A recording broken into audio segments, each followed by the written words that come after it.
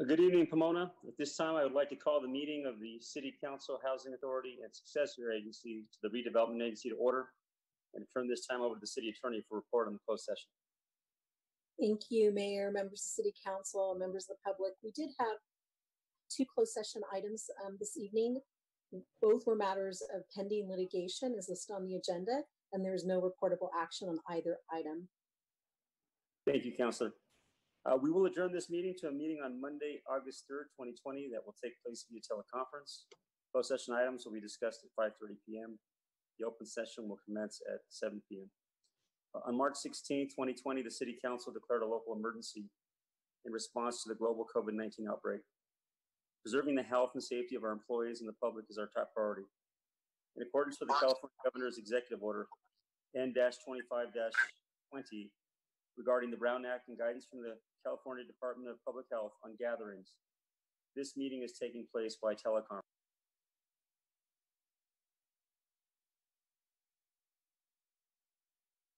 Tim, you went on mute.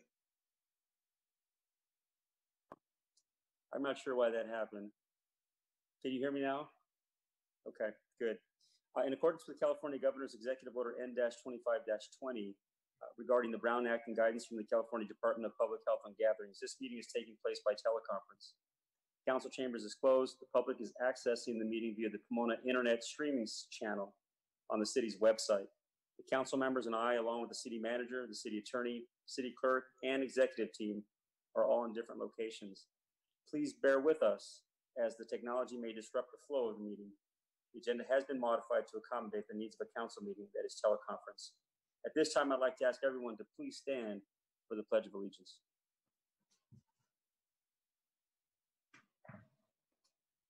Please place your right hand over your heart and repeat after me.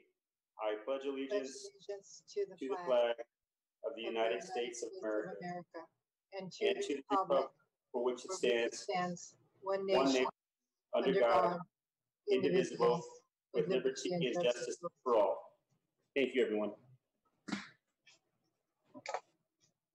At this time, I'd like to ask our city clerk, Rosalia, to please call the roll. Councilmember Gonzalez, Councilmember Preciado, Here. Councilmember Garcia, Here. Councilmember Ontiveros Cole, Here, Councilmember Lustro, Here. Councilmember Torres, Here. and Mayor Sandoval. Here. Thank you. And the next item is a presentation. Next item is a presentation by the Pomona Police Department on the Eight Can't Wait campaign. I'm gonna share my scheme screen real quick.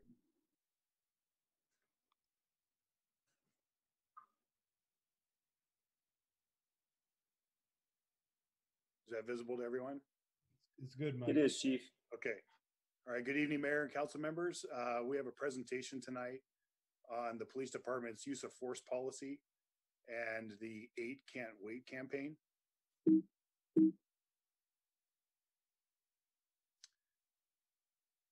Uh, oh, only one second here.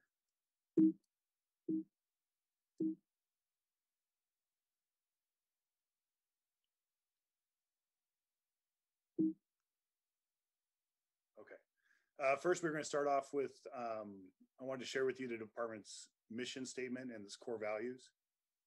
Our, the department's mission statement is to commit to a high level of police services and security to the citizens of Pomona through the reduction of crime.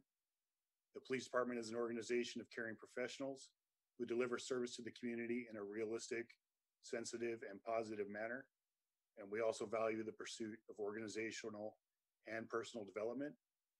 Our core values, uh, we are professional, transparent, approachable, respectful, problem solvers, community builders, dedicated to an improved quality of life for the city of Pomona, and dedicated to implement strategies to reduce crime and disorder in the community.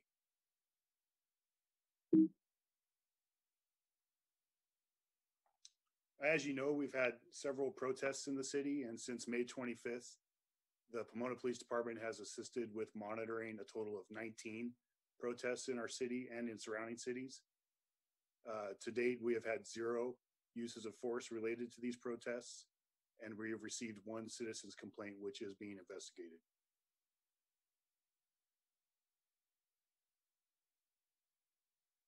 Our stance, the Pomona Police Department stance. Sorry about that.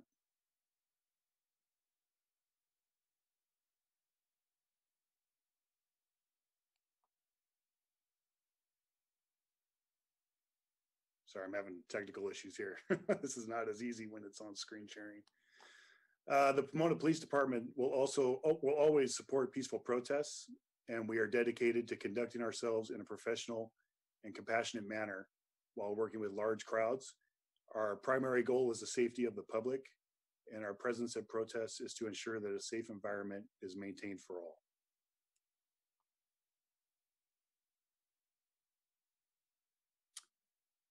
Uh, the Eight Can't Wait campaign. So on June third, the city received informational emails about the Eight Can't Wait campaign.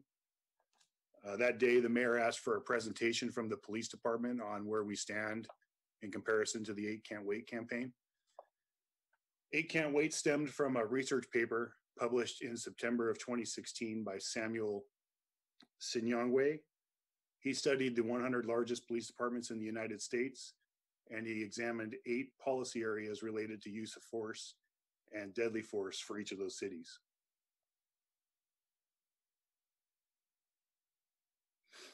A little statement about the police department's policies and procedures. We've contracted with a company named Lexipol since 2007. Lexipol provides our policy manual and provides policy updates several times a year based on legislative updates and best practices. Officers are able to access the manual online and from their smartphones 24 7. And all of our policies are available for the public to view on the police department's main webpage.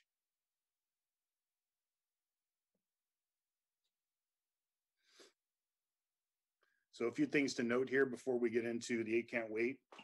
Um, police officers operate according to department policy, obviously. It's also important to note that police officers operate according to state and federal law. And we are in California, which makes a difference. Uh, last year, actually two years ago, effective last year, AB 392 and SB 230 modif- modified use of force laws in California.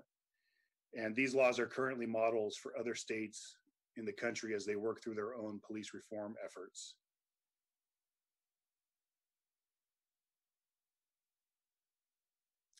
So the eight policies of Eight Can't Wait, uh, their stated policies are ban chokeholds and strangleholds, require de-escalation, require warnings before shooting, exhaust all other means before shooting. Uh, there's a duty to intervene, ban shooting at moving vehicles, require a use of force continuum, and require comprehensive reporting. So I'll go through each of them one by one. Uh, the first being ban chokeholds and strangle, strangleholds. This includes what's called a carotid control hold. The carotid control hold was an approved technique in our policy manual. And on Sunday, June 7th, California's Commission on Peace Officer Standards and Training decertified all training statewide associated with the carotid control hold. That same day, Pomona PD immediately suspended the use of the carotid control hold and we updated our policy manual, removing it from the manual. So it's no, no longer an approved technique in the city of Pomona.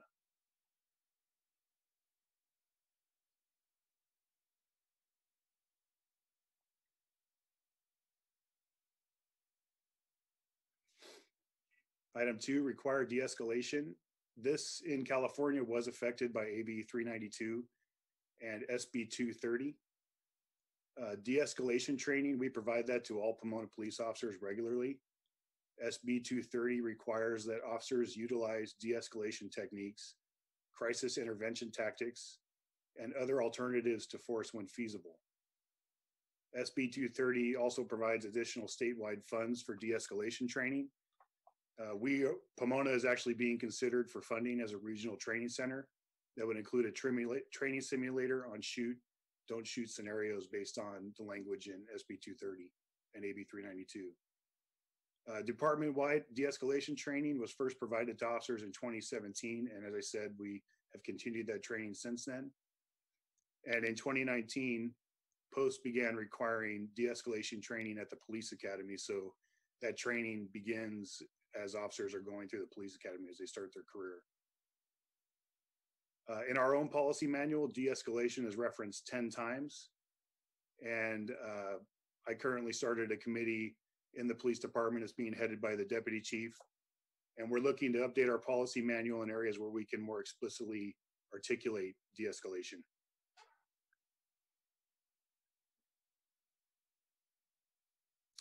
Item number three was providing a verbal warning before shooting.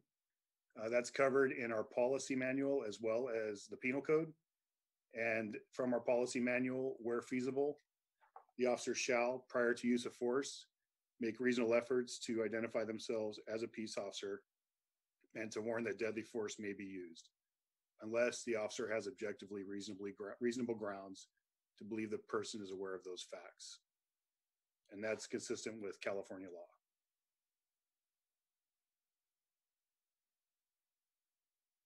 Item number four, exhausts all alternatives before shooting. This is covered, this was covered in AB three ninety-two. Our policy manual says if an object, an objectively reasonable officer would consider it safe and feasible to do so under the totality of the circumstances, officers should evaluate the use of other reasonably available resources and techniques when determining whether to use deadly force.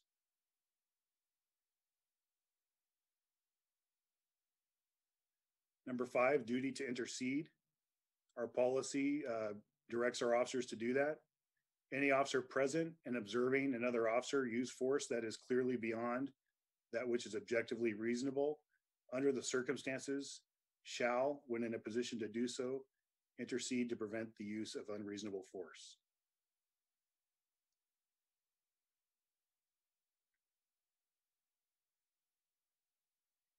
Number six, ban shooting at moving vehicles. Uh, our policy, uh, this policy is a little tougher um, because we're trying to provide guidance to the officers in policy, but also accounting for any number of scenarios that could occur. So an outright ban on moving vehicles is is not necessarily something that we can do. And I'm sure there's plenty of examples you can think of as to how that might be a problem were we to do that, and people might get hurt. Um, but our policy does say that shots fired at or from a moving vehicle are rarely effective. Officers should move out of the path of an approaching vehicle instead of discharging their firearm at a moving vehicle or its occupants. An officer should only discharge a firearm at a moving vehicle or its occupants when the officer reasonably believes there are no other reasonable means available to avert the threat of the vehicle, or if deadly force other than the vehicle is directed at the officer or others. An officer should not shoot at any part of a vehicle in an attempt to disable it. Number seven, require use of force continuum. Use of force continuums were removed from policy manuals decades ago. Uh, there's there's several issues with them, and uh, the Pomona Police Department's uh, way of documenting how to use force is consistent throughout the state and with AB 392 and SB 230.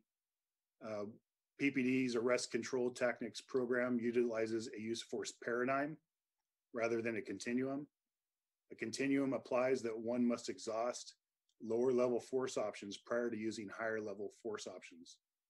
A paradigm allows an officer to choose the appropriate level of force based on the situation while following policy which dictates we only use that amount of force that reasonably appears necessary.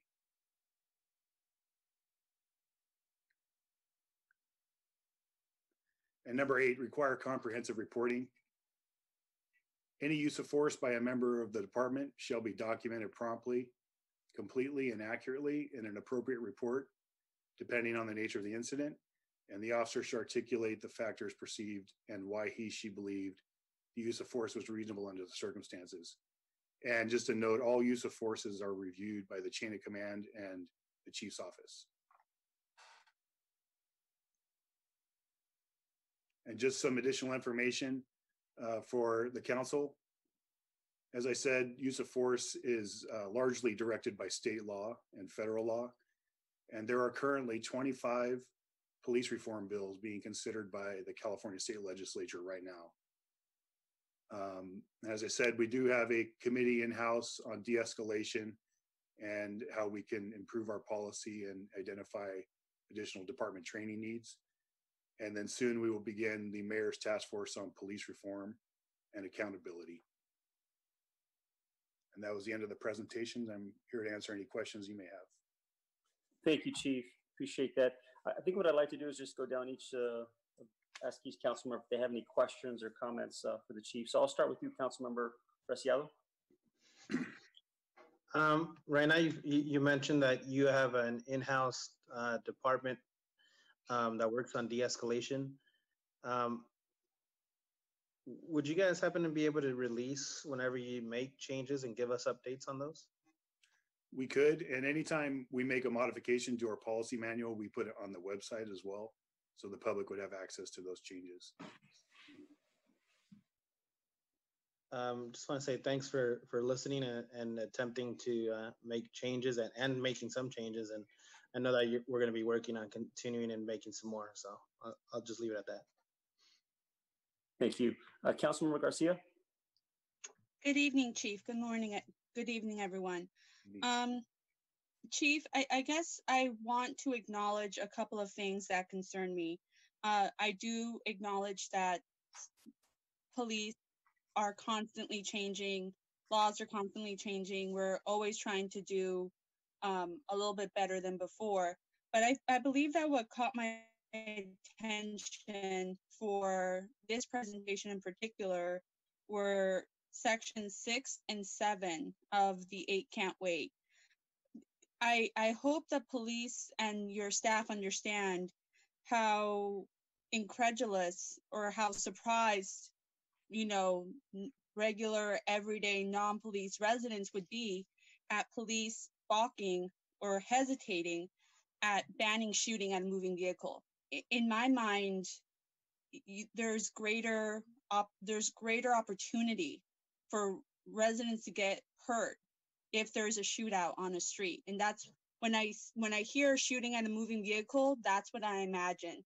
So i i do want to acknowledge that that's that that that is a a hard pill to swallow that we can't change that or that that should be really looked at more closely and and i do want to say that uh, for number seven I, as an English teacher, I completely understand the the use of vocabulary and the changing of terminology.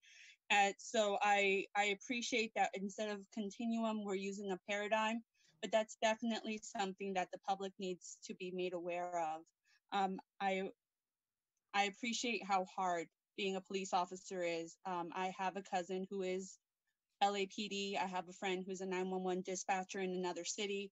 I understand the the urgency when there's an emergency call made.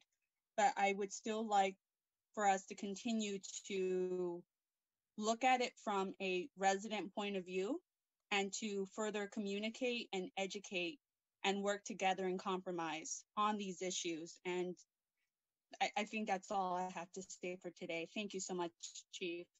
Okay. Chief, do you want to comment on, um, Councilmembers uh, Garcia's point about, uh, item six? Yeah, um, so it's difficult because police policy is there to guide and help officers make good decisions. But it also has to account for endless scenarios. So when you think about shooting at a moving vehicle, uh, I guess one example that we worry about here with large crowds, uh, like the the truck in France on Bastille Day driving through a crowd of hundreds of people. And if an officer has the ability to shoot into a moving vehicle to stop that vehicle from continuing to run people over who have no way of escape, there's a scenario.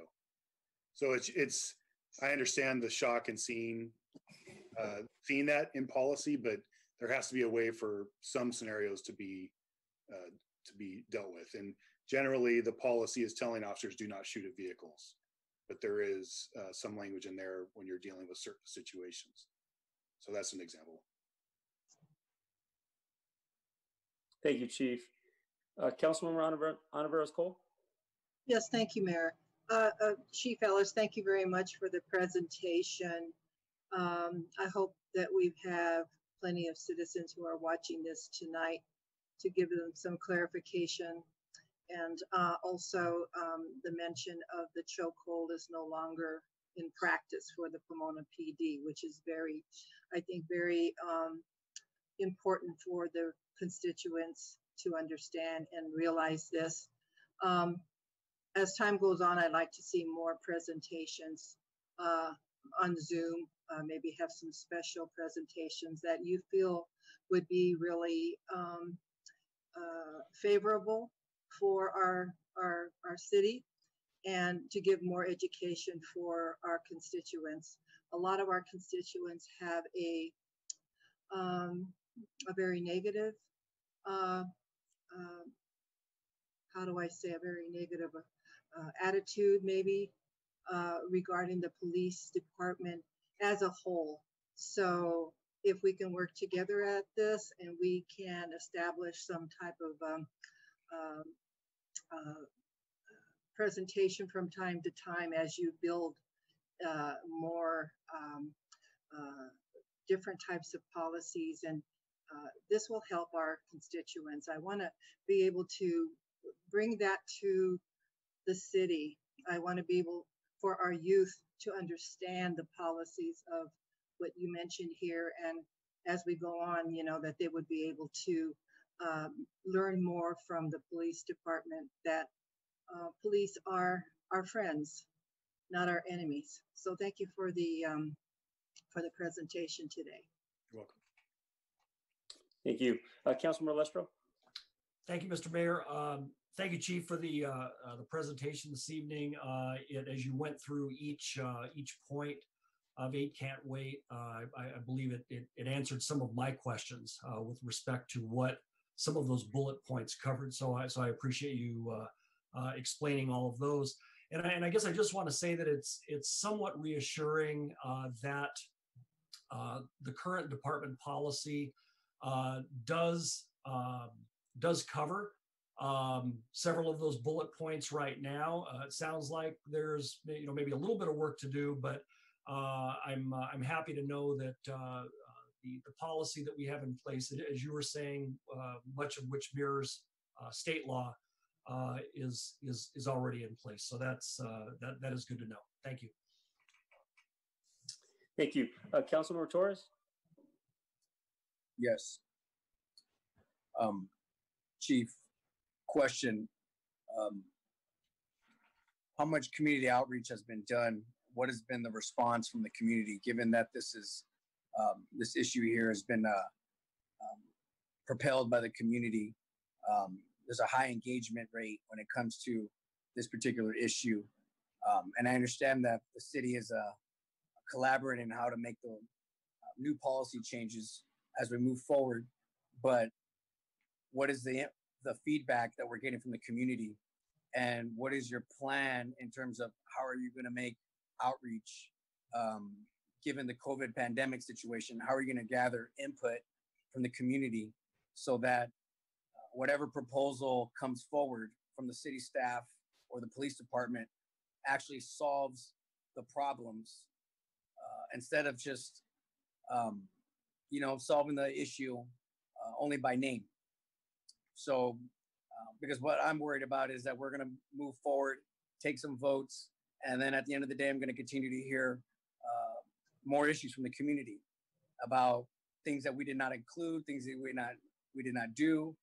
Um, so i want to make sure we avoid that and i want to hear from you exactly what is your plan in terms of bringing um, you know all people from all parts of pomona to the table not just you know the politically elite but everybody to the table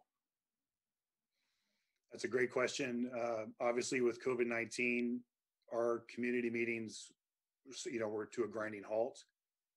Uh, and when we have topics like this, there is a lot of feedback I get from the community.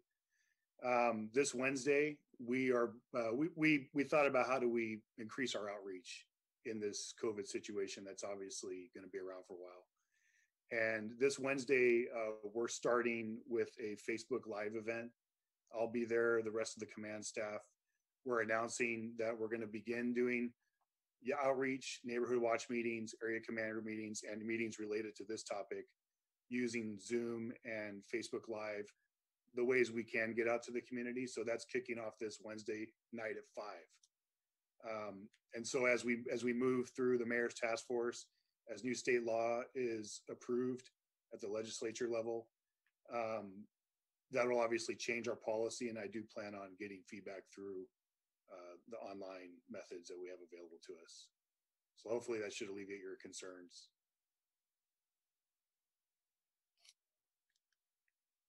Any, and you, you want to add anything, Councilmember Torres? Is that, are you, you good?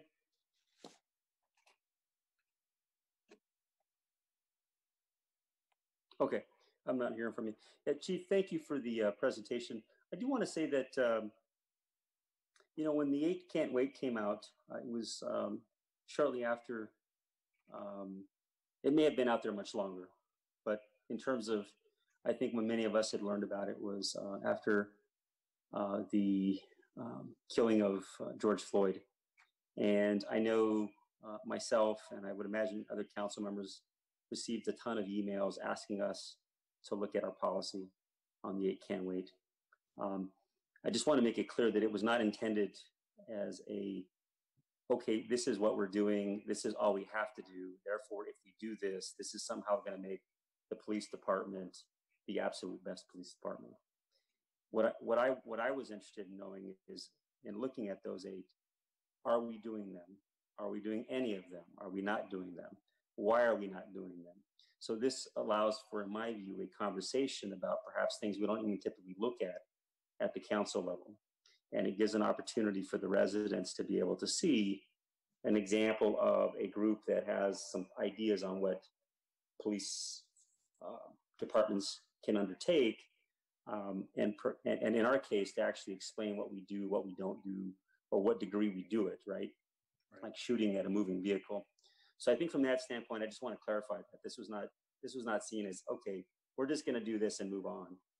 Uh, it was just a, an opportunity for us to be able to uh, give our police department um, uh, the chance to explain what we do. Uh, so that's number one. Uh, the second thing is is that um, in speaking to you know how do we get better, right? How do we improve? Uh, how do we understand what we're currently doing, right? Where do we need to go, right? And and I appreciate Chief that you and the police men and women uh, have been open uh, to uh, change, so that it isn't a adversarial or antagonistic relationship. It's a working relationship. It's a cooperative relationship. It's an opportunity for us to absolutely produce and to build the, the best police department. And so the mayor's task force is just uh, one effort uh, to look more deeply at what we do and to make recommendations. And I can tell you that it's going to be very inclusive. It's not just going to be those who are selected uh, who, for this task force, uh, and these are people from all over the city, but it's also going to be uh, people are going to be given an opportunity to participate uh, in some capacity during those meetings. They'll be able to walk, they'll be able to see them, they'll be able to, in other words, they'll be able to call in, uh, and there'll be an opportunity at the end of the meeting for them to ask questions. Also, if they have ideas that they want to submit, they absolutely can submit them uh, so that anyone who is a member of this community will have an opportunity to do that. Um, I also want to just bear in mind that um, you know it's a time. There's a time frame for this, uh, and we're going to accomplish as much as we can within that time frame. Uh, but if we need more time, because the task force believes we need more time, then we'll certainly undertake that additional time because we want to make sure we get things right. Uh, so that any recommendations that become come before the city council are really well thought out uh, and are, are, are, are the types of kinds of changes that we can make to, to, to improve our police department. So, Chief, I just want to thank you for that, um, and um, and we'll go from there. Okay. Any other questions or comments from the council before we move on to the next item? Uh, Tim, can I ask one more? Sure. Chief, um, why is it that we go through Lexipol, eh, or is that just uh, instead of having our own manual, or or is it that we go through Lexipol as a base and then we adjust it as as we see fit? Yes, uh, obviously, police policies changing with every law that passes. They have uh, lawyers on staff that write policy and make recommendations to us. we review it and make sure it's uh, good for our agency and our city before we approve it and push it out to the officers. So they basically provide the baseline, and we do modify it quite often to either rec- uh, reflect what our practice is, or if there's uh, ordinances or anything else in our city that we've adopted that may uh, change our policy. So it is a recommendation that ultimately I approve. And then um, I don't know if this is towards the city attorney or the city manager or city clerk, but I was just curious, why did this come in up as a presentation instead of like um, a discussion item? Is this is this typical? I can explain that. I, I, had, I, had, I had asked um, the chief um, during one of our um, meetings uh, if he can update us on the eight can't wait. I know that they that the police department put a um, uh, a post. I think it may have been on Facebook or other social media, and you provided a written update on eight can't wait. And I think I'd, um, in speaking to James and Mike, uh, Chief Ellis, I should say, I said, you know, I think it would be good for you to present uh, the, uh, you know, your your your your um, um, your your findings, if you will, of of the eight can't wait. So that that that was that was it was on that basis, Victor, for Councilmember Preciado. Thank you. Yeah. And and certainly any recommendations in the future, uh, and it could include some element. It can't wait would be a discussion um, amongst the city council members and the public. Okay, if uh, we can go ahead and move on to the next item, Rosalia. Okay, next item is mayor and council member communications. These are reports on, on conferences, seminars, and regional meetings attended by the mayor and city council and announcements of upcoming events. Okay, Councilmember Torres, we're going to start off with you this time. Thank you very much. Um, thank you so much, residents of Pomona, for tuning in uh, to another city council meeting. Um, please continue to practice uh, social distancing and wearing a mask. We're seeing an increase in COVID cases and infections, uh, particularly in the city of Pomona.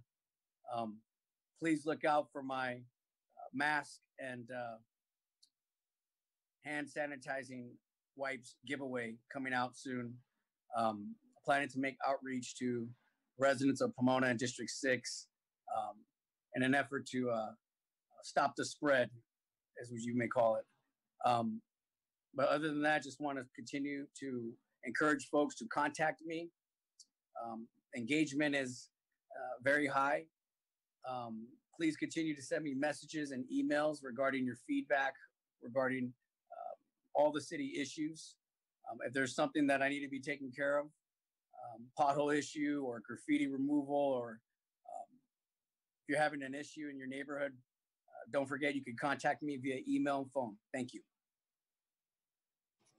Thank you, Councilmember Torres. Councilmember Lustro. Thank you, Mr. Mayor. Uh, I just want to uh, say to everybody, hope uh, everybody is doing okay, staying healthy. Uh, it seems like that seems to be the order of the day uh, over the last few months. Um, I just want to uh, recognize a couple of departments in the city. First of all, um, water resources. As as many of you know, we had our our own special geyser uh, a couple Saturdays ago here in District Five, and uh, it was uh, it was a tough one. Uh, but uh, water resources staff was out uh, uh, late into a Saturday evening, and then uh, we're back the next day uh, to do the repair uh, of the uh, the water main break, which actually occurred on private property.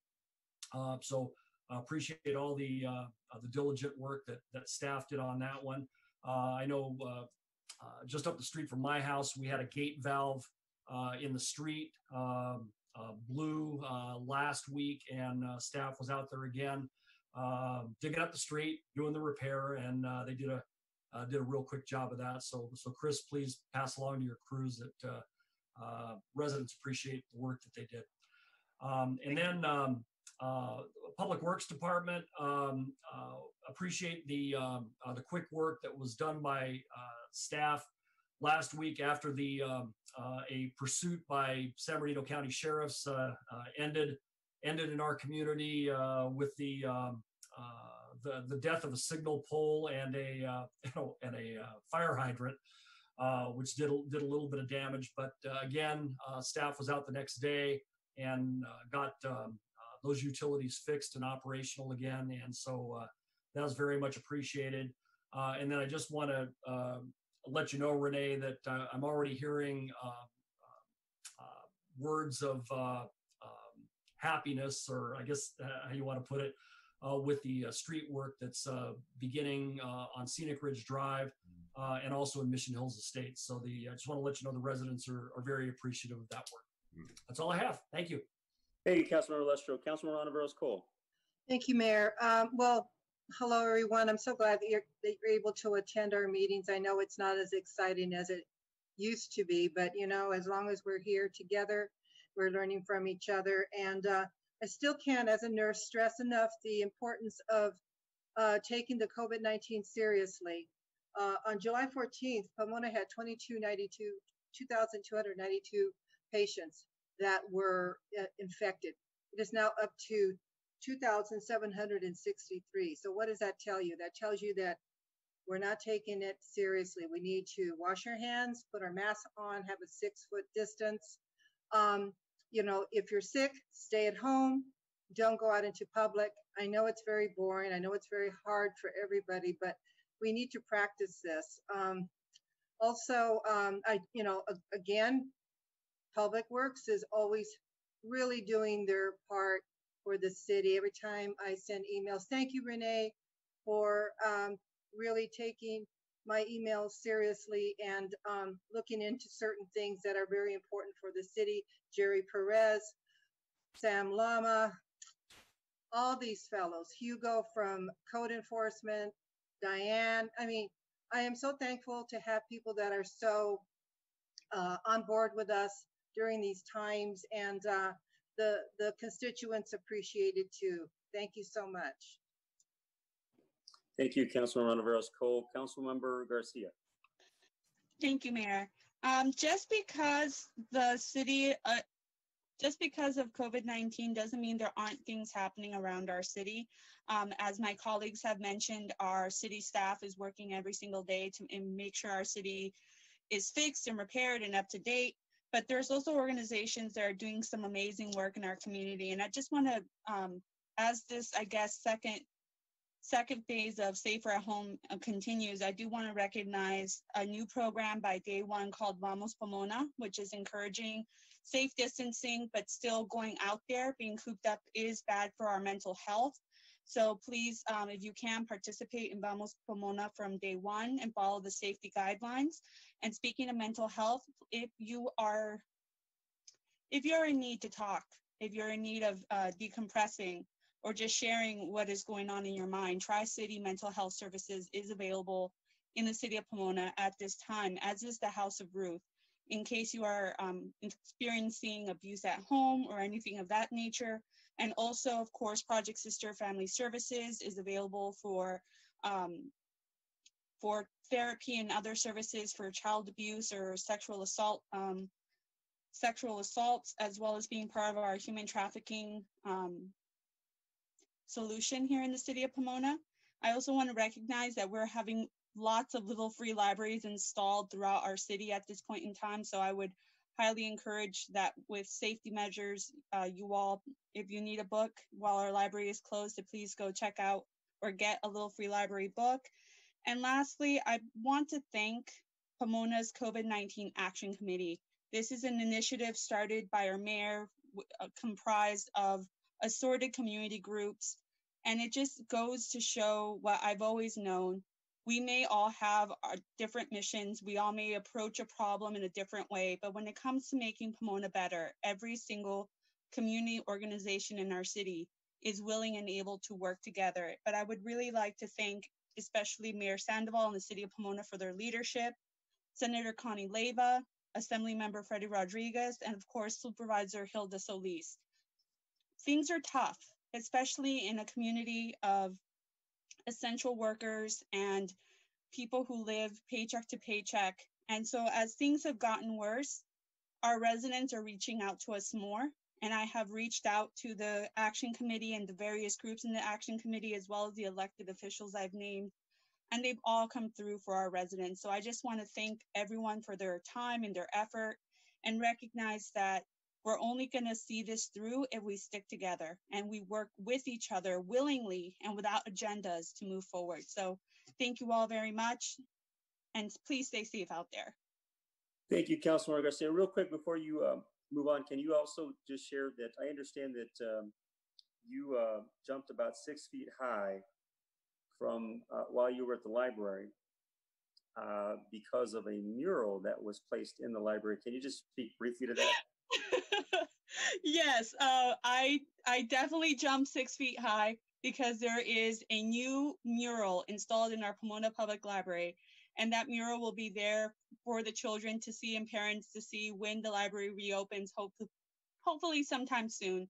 But it was a labor of love that uh, began when I was a resident, then a library board of trustees commissioner, and definitely came to fruition as I'm a council member now. So it was several years. So I do want to thank the Cultural Arts Committee as well as staff for establishing an easier process in order to bring art into the city of Pomona. I want to acknowledge our wonderful artist, Athena. And most importantly of all, I want to let everyone know that the children that you see on the mural in our library are currently children in our city. They're going to come back in five, ten years and see themselves still as little kids on that mural. And that just brings special joy and most importantly, ownership of our library to our to our residents. So yes, I jumped six feet high, and if I could have floated around the library, I would have. So thank you very much, Mayor, for for pointing that out. Thank you, Councilmember Garcia. Councilmember Preciado. Uh, yeah. So we've got we've got a couple things going on. Hello, everyone. And in in continuing about speaking about art, uh, in downtown Pomona, we currently have a project going on in partnership with the Alley Gallery, um, who is Giovanni Esparza, my arts commissioner, and as well as Article Partners and myself. And we started an event called 31 Flavors. So if you get a chance, go down there with your mask on. And every single day in the month of July, we have a different artist painting a four by four mural around um, the fence uh, next to Sean Diamond Plaza. Uh, today being the 20th, we have a, a, little bit over 20 panels because on uh, the, the last, the second Saturday, we actually had four artists participate. And there's artists at all levels, um, men, women, um, college grads, high school kids, all the way up to uh, uh, lifelong artists that have been working on it forever. It's a beautiful sight to see. Go, go uh, if you have an opportunity, go check it out. Um, as well as I would like to thank everybody and all of the volunteers that came out to uh, help uh, continue to beautify the garden that is being uh, built over at Tony Cerda Park. They have uh, uh, sectioned it off between vegetables, wildflowers, and as well as plants such as succulents and trying to stay as native as possible. Um, we had an opportunity to carry uh, truckloads of rocks on there to create divisions and divide the, the garden in a beautiful way. Um, you know, uh, thank you very much to Carlos Goitia for that, for allowing us to be, uh, helping us find those rocks. And then Fabian Pavon, the Parks Parks Commissioner, who has been leading the efforts. Um, as well as I, you know, I haven't mentioned it in, uh, in, a while, but I'd like to thank everybody who has been helping us do food deliveries around the city of Pomona.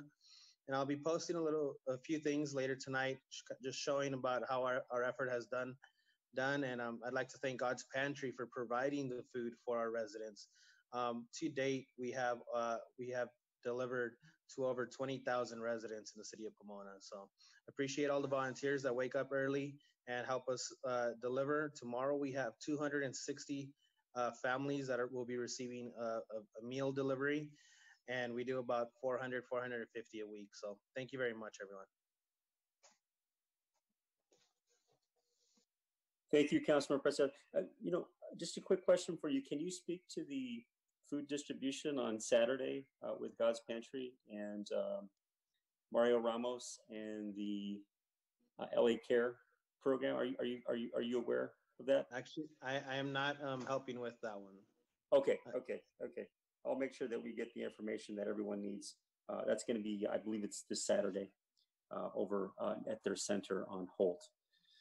Okay, um, I don't really have much to add, just to say thank you uh, to all the council members for the work that they're doing.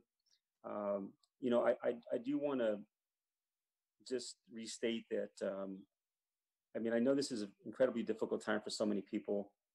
Um, we're clearly seeing the numbers of known cases going up in Pomona, and I, and I, and I really think it reflects this community because there's so many of our community members who are essential workers and they're on the very front lines and they're exposed. Uh, and we know we know from the data that um, working class communities, communities of color, are being adversely impacted uh, by this uh, terrible, terrible virus.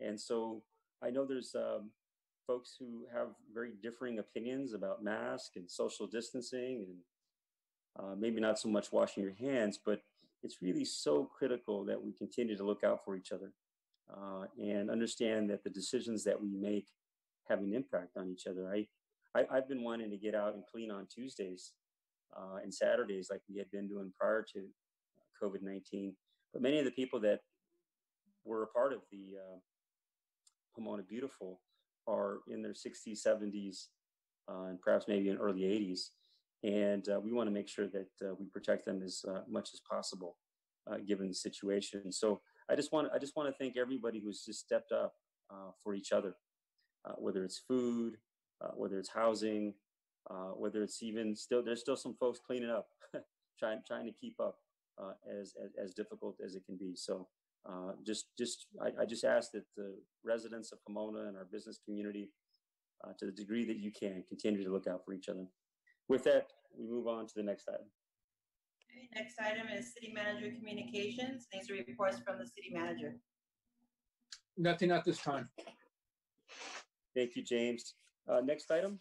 Next item, public participation. In response to the global COVID-19 pandemic and in accordance with the California Governor's Executive Order N2520 regarding the Brown Act and guidance from the California Department of Public Health on gatherings, Please note that comments for public participation or for a specific item on the agenda were accepted by email only. Comments will be read into the record by the city clerk. The deadline to submit the comments was 6 p.m. today. All comments must be limited to 200 words. And right now, I'm going to have uh, Development Services Director Anita Gutierrez. She will be assisting me this evening with reading the comments that have been mailed to the city clerk's office today. And I'll start with the first comment. First comment came from Hank Fung. Mr. Fung says, Dear Mayor and members of the City Council, I would like the City Council to begin initiating creation of a civilian police oversight commission similar to the models currently being considered in Pasadena and Fullerton. At the Charter Review Commission, the city attorney said that they were concerned about a big city commission structure, but Pasadena is a similar sized city that is also exploring implementation. I do not support defunding the police, but rather reforms in police training and discipline when officers are found to act beyond the law or policy are necessary to increase public trust in the police department. The time has come for oversight that will be a model for other cities in the San Gabriel Valley and Inland Empire. Thank you. From Fabian Pavon. Good evening, Mayor and Council.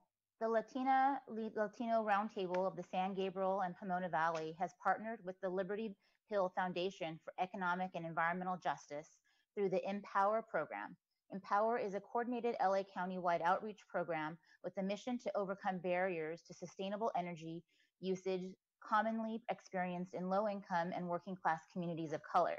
Empower matches household needs with local and statewide resources to help residents maximize potential savings and use of available incentive programs by one, ensuring that low income households are taking advantage of available financial aid options, Two, promoting low or no cost energy efficiency programs, solar panel installations, home improvements, and appliance rebates to meet basic energy needs and save even more on energy bills. Consult, and number three, consulting with residents to determine the feasibility of clean vehicle or transit and shared mobility vouchers with trade ins of older, high polluting vehicles. We would love to work with the mayor and the council in order to help low to help income eligible Pomona residents save money and move towards being more energy efficient. Please feel free to share and connect with me at any time. Next comment is from M. Joyce Baker Smith. Dear Mayor and Council, this email is to voice my concerns about the commercial cannabis permit program. In reviewing information on the city website and listening to concerns from residents at council meetings, the process used by the consulting company for granting permits can easily be manipulated to offer unfair advantage to out-of-area and non-minority owned applicants. The system can be manipulated to create a monopoly. The applicants who qualified for phase three included Authentic 909 LLC, finishing first in both microbusiness and storefront retail, Ash Pomona LLC, finishing second in microbusiness and 12th in storefront retail. To make the cannabis businesses in Pomona more diverse, companies should not be allowed to apply in more than one category. The applicants should be rewarded for being locally owned. Informational meetings are at different times. It would be better for the public to be able to see all the candidates at a forum, making it easier to, to compare the benefits each would bring to the community. Please take another look at the process and the applicants. I am concerned we are not creating Pomona businesses. We're only creating unfair monopolies in Pomona. Next comments from Virginia Madrigal. Good evening, Mayor Sandoval, council members. A person's home is supposed to be their castle, a place where you enjoy the time you spend with your family, a place where your children, grandchildren, and other family members can get together and feel safe. This should not be given to this this is should be given in the United States of America, afforded to all who want to enjoy the freedom that many Americans have given their lives to protect. This also includes elected officials. Unfortunately, the respect for their privacy in their homes no longer exists. It has been replaced by those who call themselves advocates for social justice. What kind of social justice is there when a person or a mob of people stand in front of your home screaming their demands? Or when someone breaks the windows in your home? That's not social justice, it's antisocial behavior. This behavior has caused their message to be lost and any support they might want. They are, there are many places to present their point of view. Some, someone's private residence is not one of them. Whether you're a mayor, council member, district attorney, member of the House of Representatives, or a private citizen, your home is your castle where you and your family have privacy and safety. Next comment is from Benjamin Wood. On July 5th, Pomona PD shot and killed a 34-year-old man in the city of Chino. The department released a 37-word message on social media to acknowledge the incident, but nothing else. Neither the victim nor the shooter were named. The circumstances of shooting were not disclosed and still have not been. POST has investigated this matter and have identified the victim, Matthew Dixon. Say his name. He was a family man with five children. He was from Tennessee and had and had had a little bit of trouble there, but, but had turned his life around in California. He was involved in ministry and was studying to become a youth pastor. I've spoken with his mother and two close friends and his widow. 15 days after the incident, they still have no answers to basic questions. Posts in the community have big questions too. The same questions we consistently ask you. Our elected officials to ask of law enforcement. We need you to ask those questions tonight. Matt Dixon's life matters, and he had family and a community that loved him. They have given us their blessing to invoke our rights under the PRA to demand answers to these questions. We demand the video and the officer's name be released. Next comment is from Daryl Cruz. No lives matter in Pomona. What matters in Pomona is money and the connections and influence that come with it. Like Council Member Robert Torres said, friends and longtime political allies who helped get him elected to office. It's those friends and longtime political allies who matter in Pomona. Generally, those are groups of people who come together to get someone elected to get them favors at the expense of others. In Pomona, it has led to injustice and has resulted in ignorant and hateful treatment of those without influence. It has resulted in unequal treatment of people performing the exact same service, just doing at different times. City Council, their staff, and enforcement personnel ignored the will of the voters and legislators and forcefully abated some operators in the past, causing injury to some. City Council recognizes that the city the service is legal and was legal when a previous city a previous council caused enforcement of its pre- pre- prejudicial ordinance which was based on hate and lies and ignorance due to the stigma that has accompanied it since the days of referee madness reefer madness. Uh, remember that stigma was based upon racism and lies and you refused to fix the damage done by previous council Next comment is from Joe. Dear Mayor, City Council, and staff, in follow-up to previous requests, the residents asked that the city advocate and provide periodic updates to residents about the lack of representation in District One. How do we find out if Rubio Gonzalez remains on the council? And who do we turn to for representation of District One? Given the circumstances, we understand you are limited on what you can, what you can share. However, District One deserves trust and transparency, along with valid and competent representation. Please make this a priority and do not have residents wait until the November election for a solution. Also, can the city please share with District One residents uh, on how we can find information and learn about council member candidates for the upcoming election? Thank you. From Clay Johnson, I am a Pomona resident living in District 4. I am writing to ask that the city identify the officer who killed Matt Dixon on July 5th and release information about the incident. It has been over two weeks since the, since the incident, and the public should have a right to this type of information and full transparency about our police department. I would also like to request the city's support for establishing a police civilian oversight committee with subpoena power to ensure fair accountability of the police to the citizens that it serves. And our final comment for public comment, for public participation, is from Elizabeth Trejo. My name is Elizabeth Trejo, and I'm writing in response, or I'm writing in today to ask for transparency in the police-involved shooting that cost Matt Dixon his life. His loved ones deserve to know what caused the Pomona police officer to use lethal force. They also deserve an independent investigation that is not conducted by the very same department that caused the death of their loved one. I also ask members of this council to strength- strengthen community relationships with police and put forward civilian oversight over the Pomona PD. And that's, that's it, Rosalia? Yes, it is, Mayor. Yeah, before we move on to the next item, I just want to address three things briefly. Uh, The first one, um, a a resident made reference to protest and so forth um, at uh, elected officials, residents, and certainly protesters have a right to protest. Um, I, I want to just make it clear, though, that the incident that happened at my home had nothing to do with protest. It had to do with a transient who I believe was dealing with mental health issues. And it's a situation that we have in our community uh, where you have people who are unfortunately on the streets dealing with real health issues when perhaps they should be getting other types of support. And so I just want to make that clear. There's there's no, from from my view and uh, from my lens, um, I don't associate the two at all. And I think it's not fair to associate the two at all. And so I just want to make that clear uh, because I certainly respect the right of people to protest however they may protest. Uh, it isn't always easy to experience or to have experiences like that, uh, but I do just want to acknowledge that. Uh, but they are they're two separate incidents altogether. Uh, and the first one, maybe incident is the right word, but they're, they're just two different things altogether. The second thing uh, has to do with District One. Uh, Rosa, uh, I'm sorry, um, Sonia.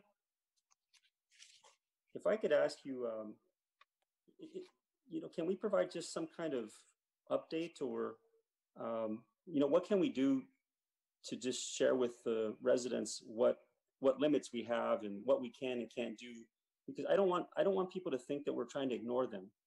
Um, you know, because I think that um, if we had our, um, uh, how might you say, uh, I- think everybody would like to move forward and to move on. And I think we have made it very clear that we want Councilmember Rubio Gonzalez to resign and to resign immediately. But can you just just walk us through briefly so that people know this is not just something we're uh, just waiting on, uh, just because we want to wait on it, but there's there's there's rules and laws that we have to follow. Otherwise, we are subject to being uh, sued. Yeah, Mayor, I'd, I'd be happy to do that on your behalf and behalf of the entire city council. I'd like the public to know that immediately upon um, discovering and learning of the charges that the council member was facing, that the council took immediate action in the form of censoring him. Um, to date, this council member does not have access, um, unfettered access to city hall, doesn't have access to city paid equipment, and all that he has today is basically the fact that he is a council member elected by the people within his district. Um, under California law, there are, there are significant protections for people who are elected by the people. And those same protections that help ensure that when the people speak and elect someone, we can't just have a seven member body, or in this case, a six member body, remove someone from office. So the state law provides extreme protections. And so, what the city would have to do in order to remove a council member is go through a state process.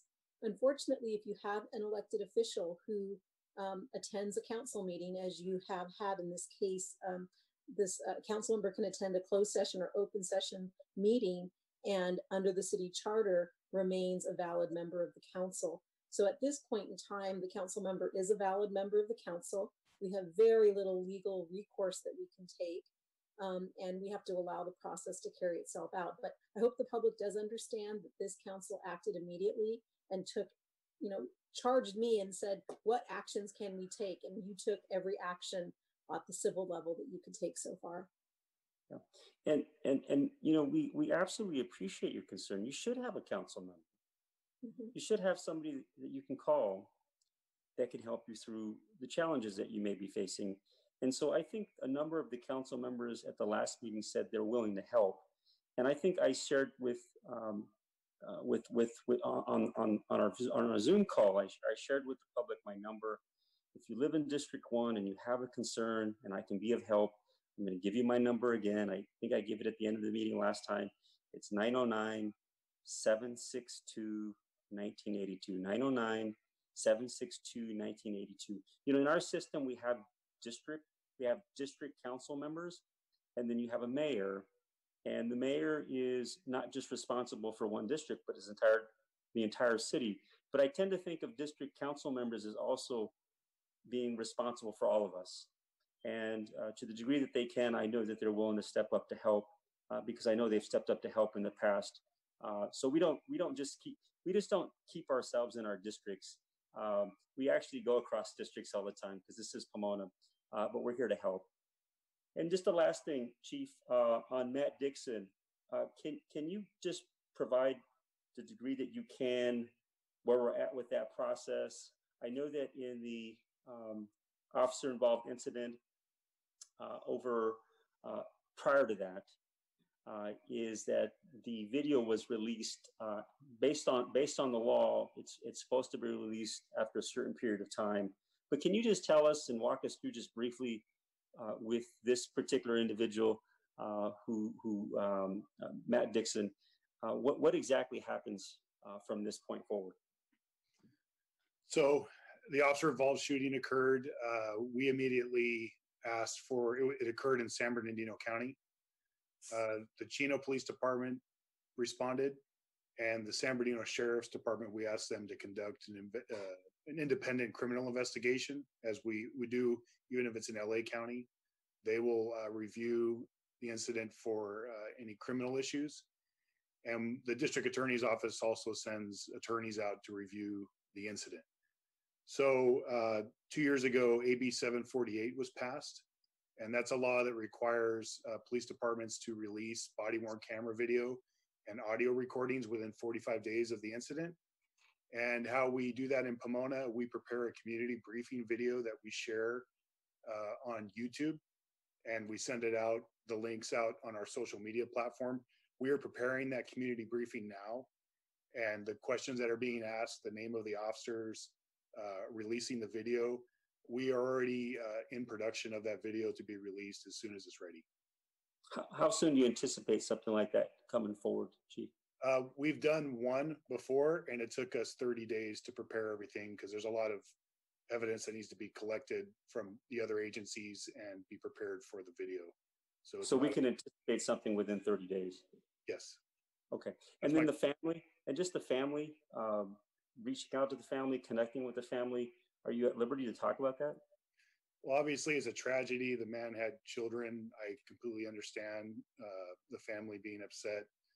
Um, it puts us in a situation where we are being technically investigated by the San Bernardino County Sheriff's Department, and that agency is the liaison to the family at that point. Um, so, uh, if anyone is uh, you know, asking questions, it should be going to the San Bernardino Sheriff's Department at this. And, uh, and that's, we're, we're kind of limited in what we, the information, Right. what we can say. So what you're saying, Chief, is you're not investigating yourself. There's a another body that does the investigation, um, which is which is what happens in all officer-involved shootings. As I understand it. Yes. Okay. Okay. All righty, Chief. Thank you so much. All right. Uh, if we can go ahead and uh, move on to uh, the next item, which is consent calendar. Consent calendar, all matters under the consent calendar may be enacted by a single motion without separate discussion. If discussion or a separate vote on any item is desired by a council member, that item may be removed from the consent calendar and considered separately. All consent items pulled for discussion will be limited to five minutes. If they are not acted upon within five minutes, the mayor will move that consent item to the end of the, of the agenda after consideration of the public hearings. Any motion relating to an ordinance or a resolution shall also waive the reading of the ordinance or resolution and include its introduction or adoption as appropriate. And we do have two speakers for com, or for item number seven.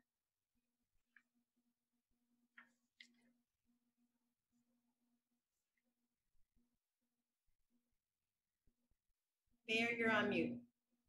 Thank you. Are there any council members who would like to pull an item from consent for discussion? Uh, not hearing any. So we're, so we'll pull seven. Okay. And, uh, because we have two speakers.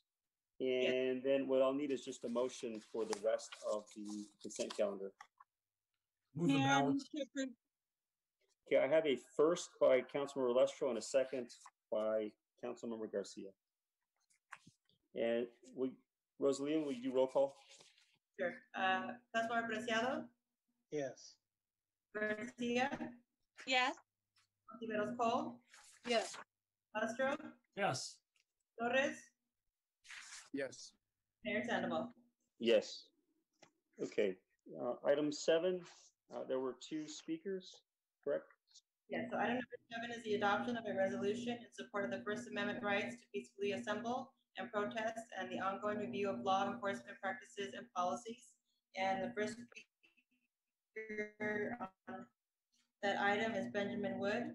Benjamin Wood says, once again, we have empty words on the issue of police violence when you could be taking action. We don't need a resolution in support of the First Amendment. We have an amendment to the Constitution for that.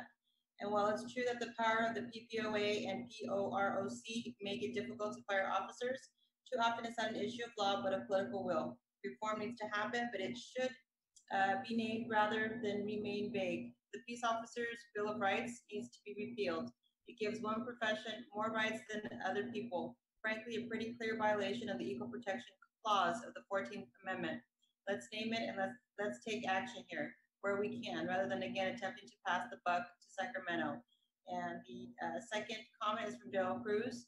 The City Council of Pomona wishes to give lip service to the cause of police reform by allowing you to protest during a pandemic. You can't have an outdoor, you can't have outdoor get-togethers in your own backyard and barbecue, but it's okay to allow thousands to get together in great, greater numbers with less distancing.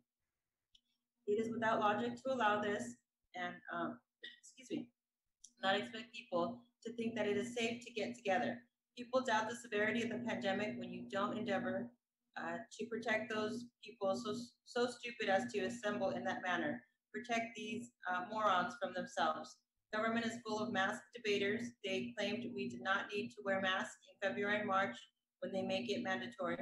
Why are government people always so useless and good for nothing? It's much better to not talk about something you know nothing about. That's what you get when you have a socialist community organizer leading the health department rather than a medical doctor.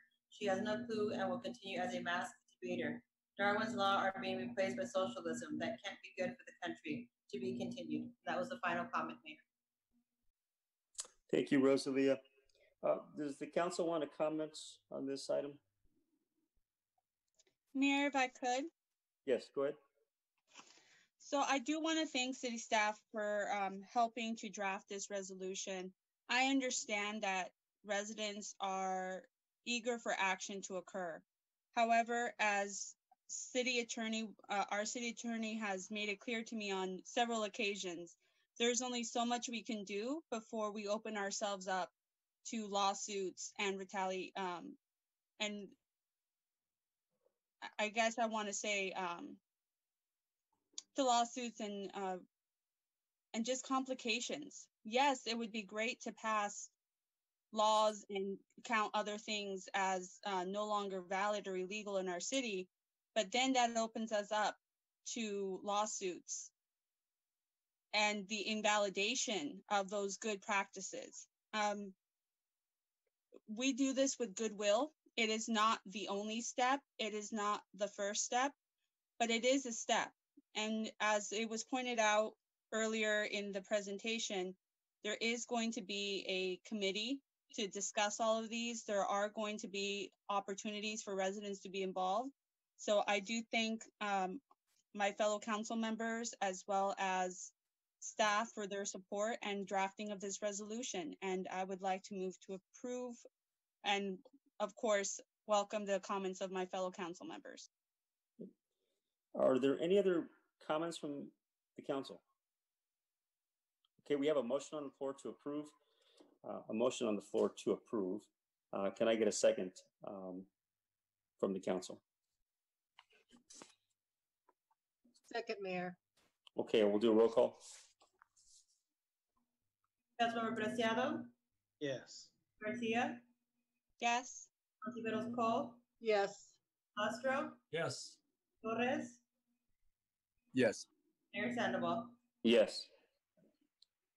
Okay, we can go ahead and move on to the next item. Next item of discussion, calendar item number eleven, is the introduction and first reading of an ordinance to add Division Three wireless facilities and right-of-way to the Pomona City Code, Chapter forty-six, Article nine, adoption of a resolution to establish fees for wireless encroachment per, uh, permits. That was Article four, my apologies. Um, it is recommended that the city council will take the following actions. And we do have, um, one speaker for this item tonight. Okay, do, and do we have a staff presentation? Uh, Thank you, Mayor and council members. Just a, a real quick uh, introduction. Uh, This is an introduction and, and first reading uh, to this ordinance, which uh, will establish a process for managing requests for the placement of wireless facilities within uh, public rights of way and create uniform stand, city standards for installation and implementation. This proposed ordinance is consistent with the city's obligation to promote public health, uh, safety, and welfare, to manage the public's uh, to public rights of way and to ensure that the public is not inconvenienced by the use of the public rights of way for the placement of wireless facilities. Uh, this city also recognizes the importance of wireless facilities to provide high quality communication services service to the residents and businesses within the city. And the city also recognizes its obligation to comply with applicable federal and state law regarding the placement of personal wireless services service facilities in its public rights of way. Uh, that's it for the presentation. We have uh, uh, lawyers or attorneys from BBK present uh, in case there should be some questions that I cannot answer. So that concludes my presentation. Thank you, uh, Renee. All right, I understand we have one speaker, so before the council weighs in, uh, Rosalie, can I circle back with you and ha- have you read the um, comments from the speaker? Uh, comment is from Larry Ortega. Mr. Ortega says, "The city council must step in to protect the residents of Pomona. The ordinance must require wireless companies to insure for injuries and illnesses caused by RFMW radiation exposures from proposed cell towers antennas. Our research uncovered the following. Lloyd's of London, Swiss Re, AM Best, and other insurance companies exclude coverage for injury and death claims from RF EMR exposures caused by cell towers 5G antennas. The city council should insist demand as a key component to this ordinance, specific RF EMR pollution coverage from the applicants via this proposed ordinance. The Ordinance should mandate the applicants to disclose exact corporate uh, name and its board of directors and that the insured matches the corporate entity on the application. The ordinance should require the insurance associated with the application come from a licensed third-party insurer, not from a self-insured indemnity substitute. In the case of Crown Castle, a wireless tower and antenna developer, we discovered through their financial statement filings with the SEC, they are financially over-leveraged, carrying a high amount of debt. According to one ex- expert, a former investigator with the SEC, they cannot make good on any claims were one to be filed, leaving the city with ultimate financial responsibility. That's the final comment. Thank you, Rosalie. Uh, Let's go ahead and have uh, the council weigh in. Uh, They may have questions. I'll start with you, Councilmember Preciado. Um, Renee, just as a clarification, this is just to adopt a resolution to establish the fees, right? This is not putting any up up uh, at this moment. All of any any wireless facilities that will be in the right of way will come to uh, to the appropriate uh, bodies uh, in the future. Correct?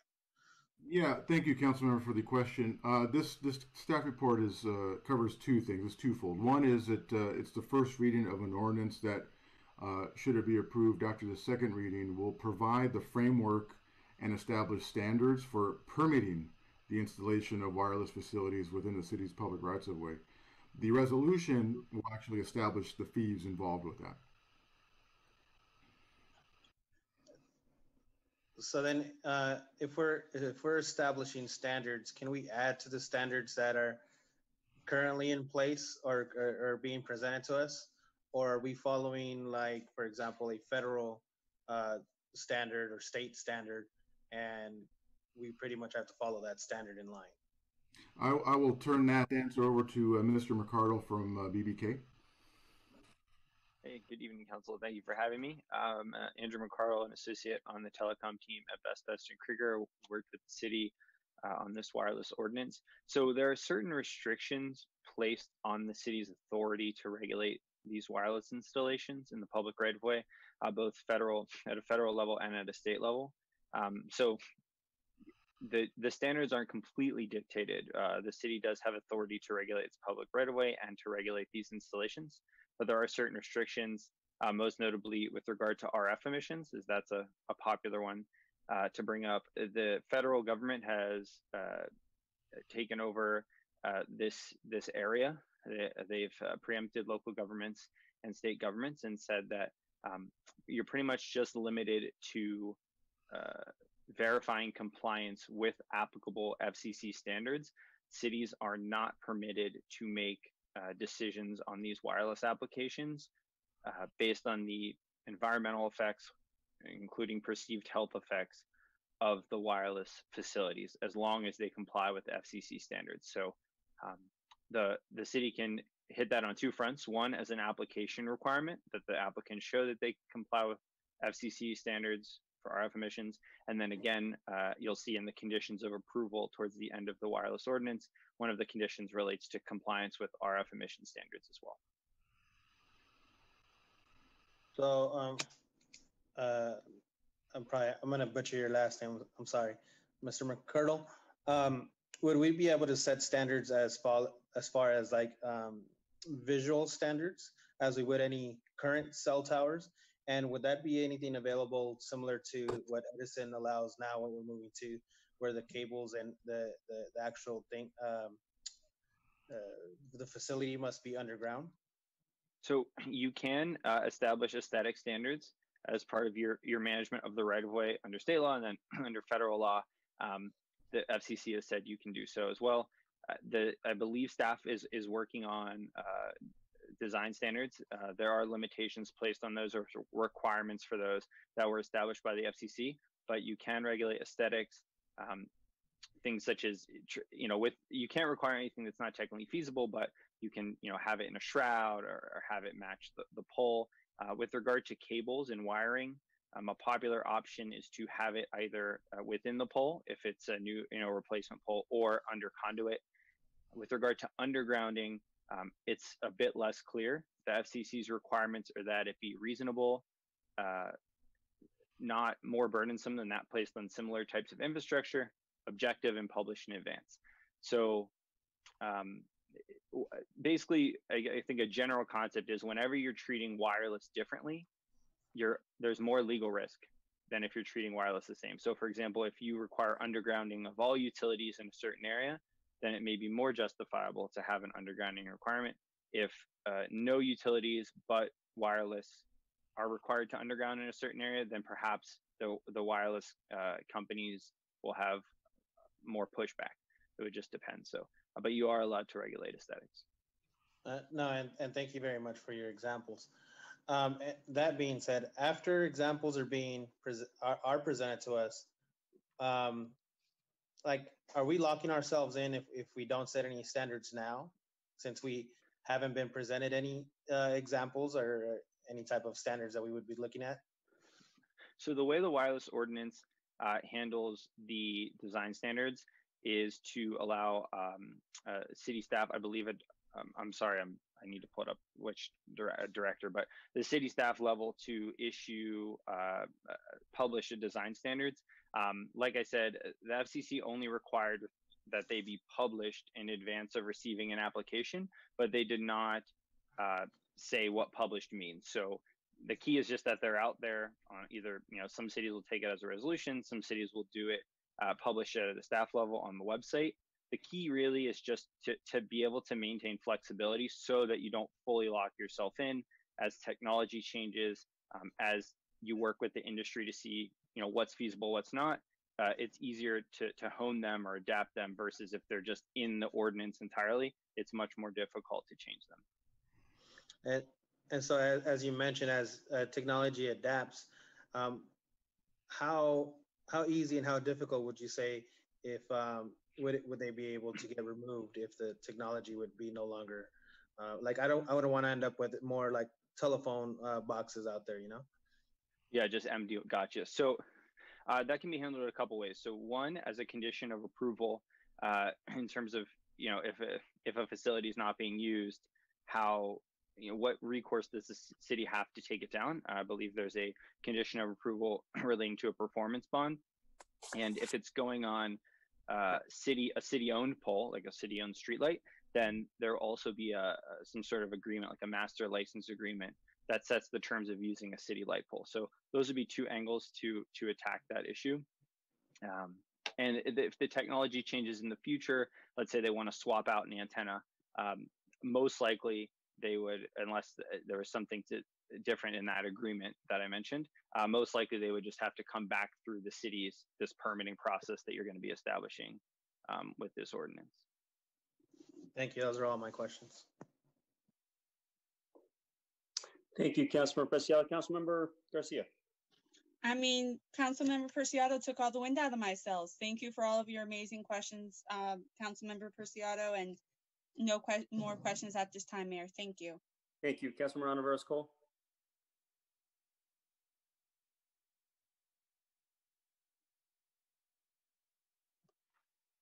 Thank you, Mayor. I just have one question. Um, how many locations are are you um, thinking about? Uh, the go. I'll, I'll try to answer this first, and then maybe Andrew can can chime in. But uh, there there is no number. Uh, we're not looking for. We don't have. We have not established a minimum number or a maximum number at this point in time. Uh, we, we just we just don't have that information. I mean, we don't.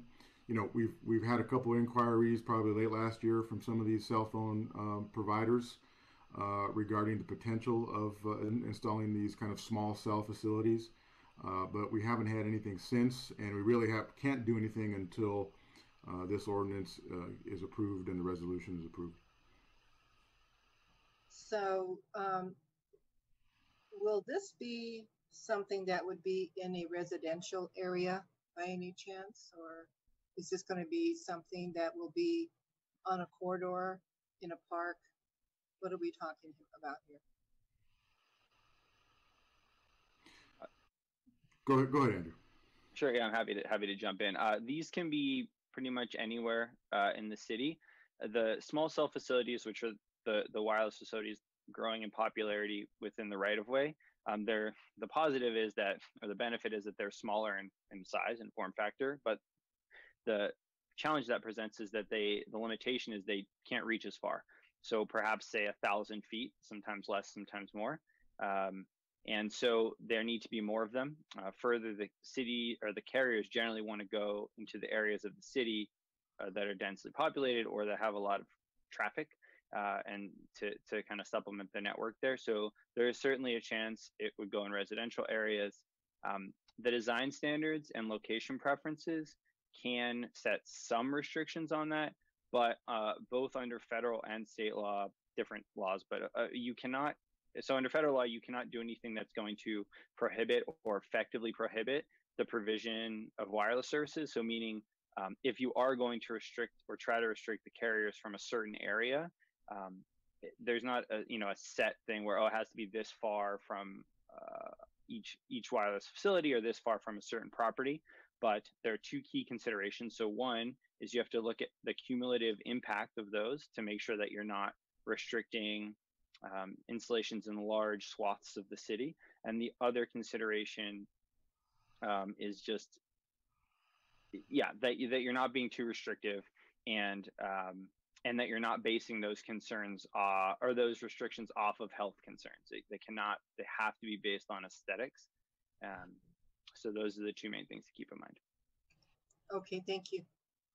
Yeah, just just since, uh, um, not not you, uh, Councilmember Ontiveros Cole, but forgive me. Can you re- remind me your last name? Attorney. Uh, M- McCardle, Andrew, Andrew Oh, McCardle. McCardle. For, for, forgive me, Mr. McCardle. No, no. So, so when it comes to the issue of equity, right, which is where these get placed in certain neighborhoods, certain communities, is that a factor in any of this?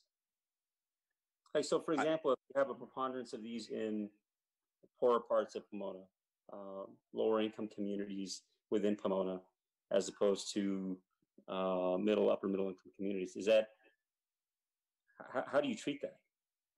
So, uh, with small cell facilities, given their lack of reach, that is not uh, as much of a concern. Um, I think, yeah, certainly with the larger towers, uh, there could be maybe a chance that they're sited in a certain area, knowing that they'll cover other areas. I'm not sure, but with the small cell facilities that this ordinance is going to regulate and restrict, so meaning it's going to limit installations in the right of way to the smaller facilities and not allow these large towers in the right of way, which happen in in some areas um, that not in other cities and, and locations. Uh, they need to be where the demand is because they're only reaching you know 500 to maybe 1500 feet, and so they can't park them in potentially a, you know an area where it's less expensive for them to do so, or or whatever the case may be, and then have them project out to other areas. It it, it has to be close to where they need that capacity. That, okay, that, that's helpful to understand. I sure. don't want to confuse them with these larger towers where sometimes they have right. a, there's, there's always the potential that it ends up in certain neighborhoods where, you know, there is that uh, feeling of risk, that, that environmental risk, that health risk uh, that it um, uh, could have on uh, certain communities. Uh, I, I, realize that the, the, w- the way the law is written, uh, federal laws, it doesn't it doesn't allow you to take that into consideration, if I understand you correctly. Right. Okay. All right. Um, it's it's it's an important lesson uh, that all of us understand of how critical representation is uh, in Washington D.C. because this is a policy issue, right? This is this is a decision that gets made at the uh, level of the Congress and the Senate, I would imagine. Yeah, uh, the FCC. So was it this the the limitation on local government authority with regard to RF emissions was established uh, in the Telecommunications Act of 1996, so a ways back. Yeah. um, they did the FCC did recently re-examine uh, its emission standards and and issue an order basically saying that, that they don't see a need to change anything. Sure, understood. Thank you. Alrighty, I'll turn it. Thank you, Mr. Mayor. You got you got muted quickly there, but I think you called on me. Um, I'll, I'll shoot an arrow You, also. you can at- go. You can go, Councilmember Lustro. Thank you, sir.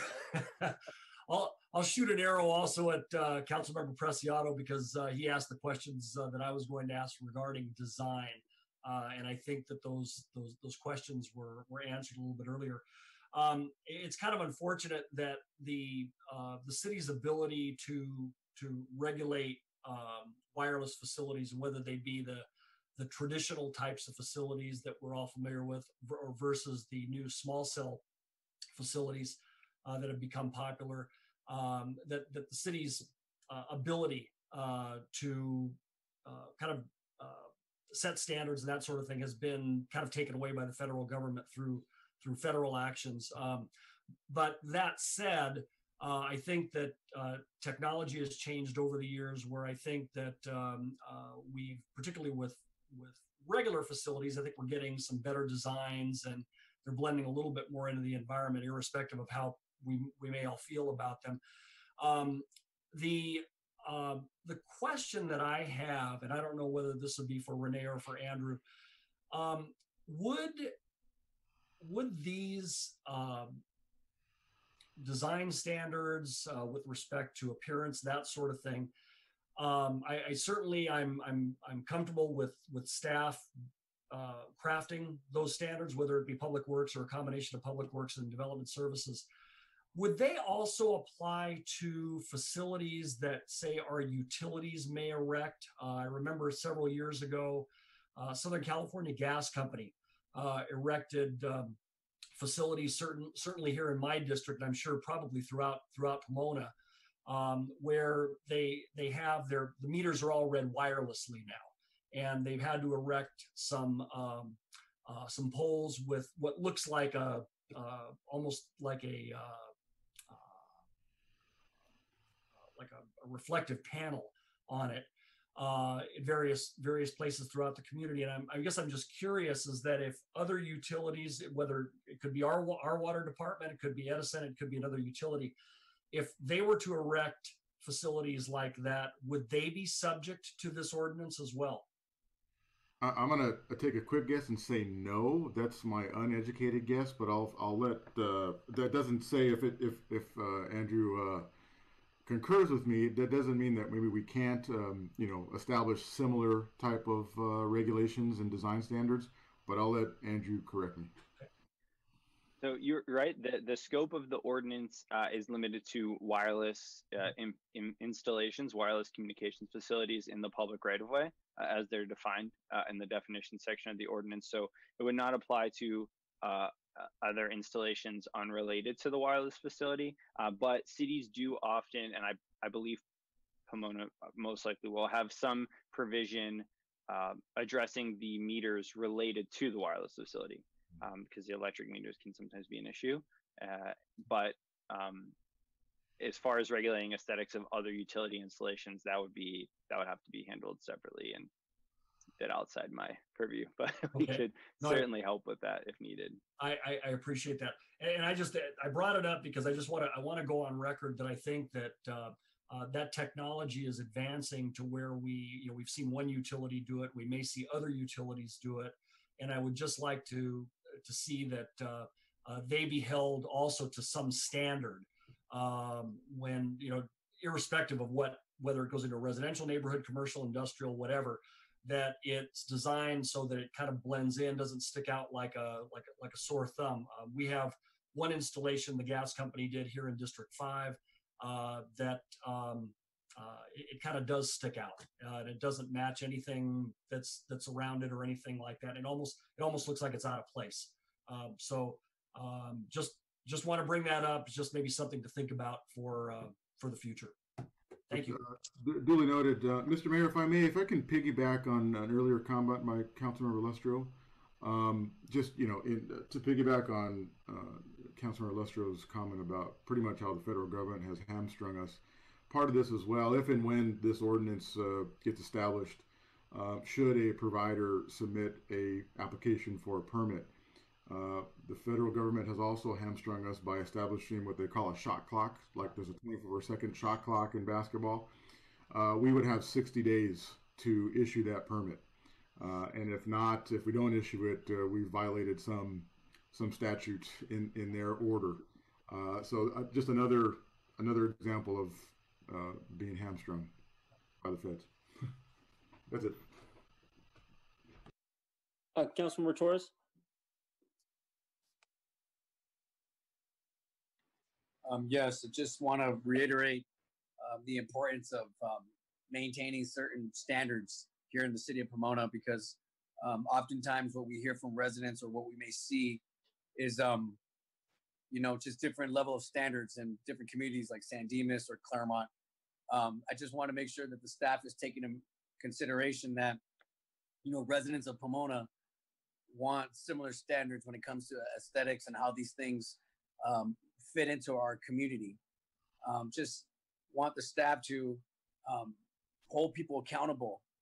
Um, just because it's the city of Pomona, just because it's one of the poor areas in the county, um, doesn't mean, you know, we care about how our community looks, right? Um, so I just want to make sure that staff understands. And secondly, I'm reading the staff report and it says that, um, and this is just just curious, um, that wireless companies have increasingly sought to install these facilities. Um, have we been, has our city been lobbied by or contacted um, by any wireless facilities or wireless companies in regards to this ordinance? Uh, no, not that I'm aware of. Uh, we, like I, I've mentioned earlier, we, we have been contacted uh, by um, one or two of the providers, probably late last year, uh, who who showed some interest in in doing this. Obviously, at the time, we did not have an ordinance or any kind of uh, you know fee schedule established. So we wanted to make sure that we we worked through the process to get this ordinance established and the fees, the proper fees established, and made sure that we did it right and correctly. Um, we didn't, we weren't rushed into this. In fact, I think I would like to say we took our time with this to make sure we did it correctly, and we worked with Mr. McCardle to make sure that we've we've done it right and per the FCC FCC orders. Okay, thank you. You're welcome. Okay, uh, so before we, uh, before I ask for a motion, I'd like to ask um, Rosalie to please read the ordinance title. Okay. Ordinance number four two seven nine, an ordinance of the city council of the city of Pomona, California, adding, uh, division three, wireless facilities and right of way to chapter forty-six, streets, sidewalks, and other public places, article four, encroachments of the Pomona City Code. And that's the um, first part of the motion. That's eleven one. And um, can we take both of them together? We can do that, yes. Yeah, if we can do that. Go ahead. You want to read that?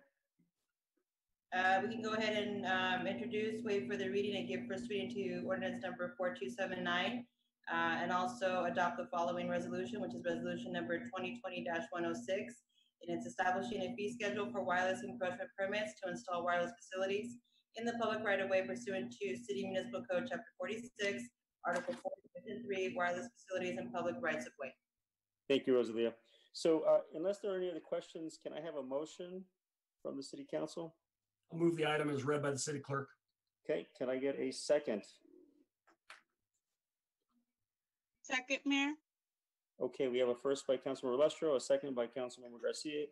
Rosalie, will you please take the roll, roll call? Absolutely. Councilmember Preciado, No. Garcia,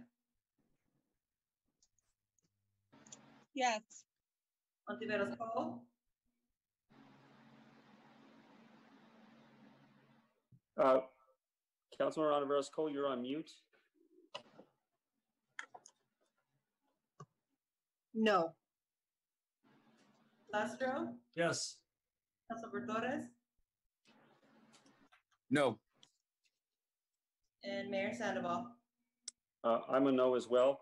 Um, and I think that um, clearly there's some questions that the council has regarding this uh, that I think we're going to have to take up uh, certainly at a future meeting. Okay. So the final vote uh, is um, four, four, one, five, one. I have two, uh, uh, two, Sorry, you're right. Yeah, four, four, two. Okay. All right. Uh, if we can go ahead and uh, move on to the next item. Next item is item number twelve. It's a finding of public benefit to the community at large, recommended expenditures and recap of funds. Okay, um, unless the council has any questions or wants to comment on any of these, can I get a motion? Move to approve, Mayor? Can I get a second? Second. Okay, do roll call? Councilmember Preciado, Yes. Garcia, Yes. Ontiveros Cole, yes, Lustro,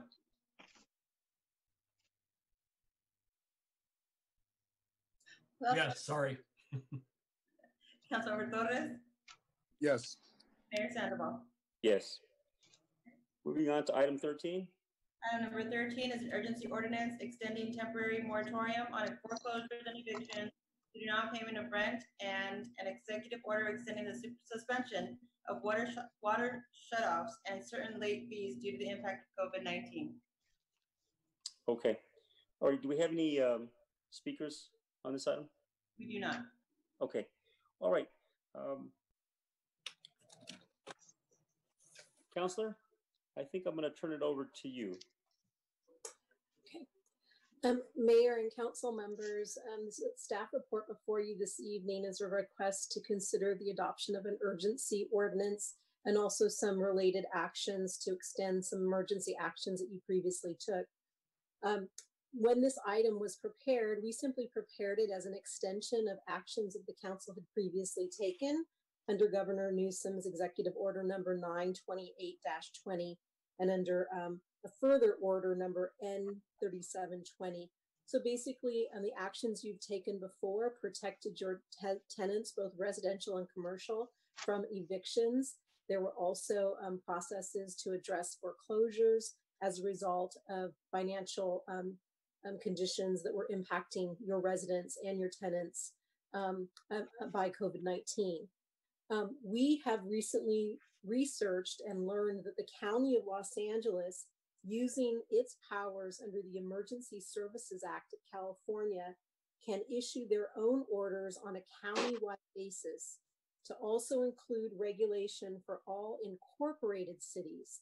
This is not normally the case. Normally, counties make rules that apply to their unincorporated territories. Um, and in this case, they've passed rules that can apply in the incorporated areas provided that a city does not already have its own regulations.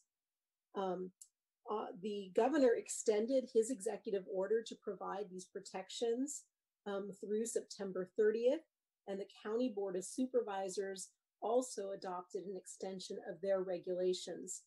I had an opportunity to compare the LA County regulations to the City of Pomona regulations, and in every regard, with the exception of the foreclosure, they are nearly identical. However, the county does provide some, some extra protections, some of which I think some of you had asked me before whether we could or should adopt.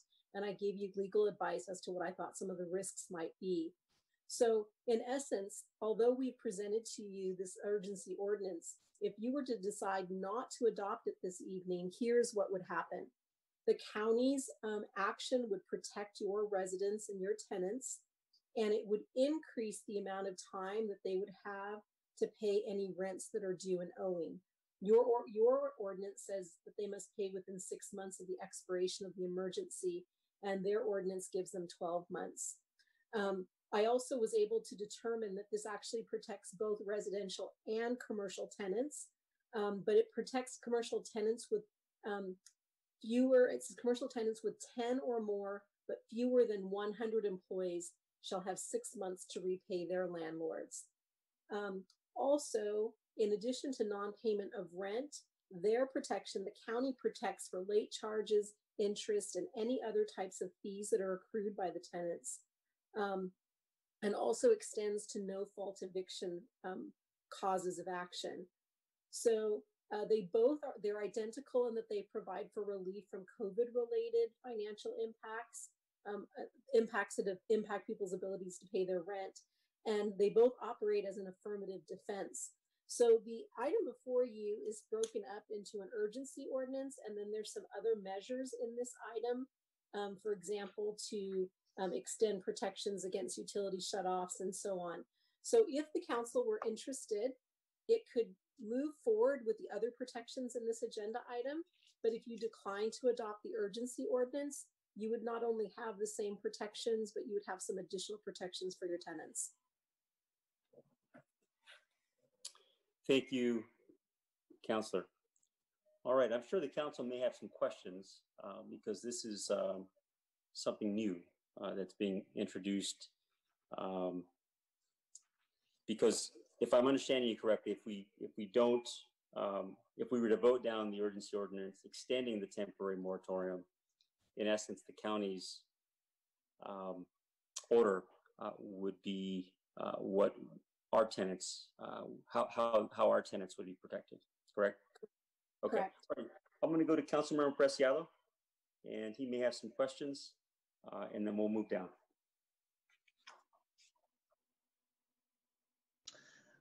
I'm I'm just having difficulty understanding why, like, normally when the state passes something, we we pretty much just match whatever the state does.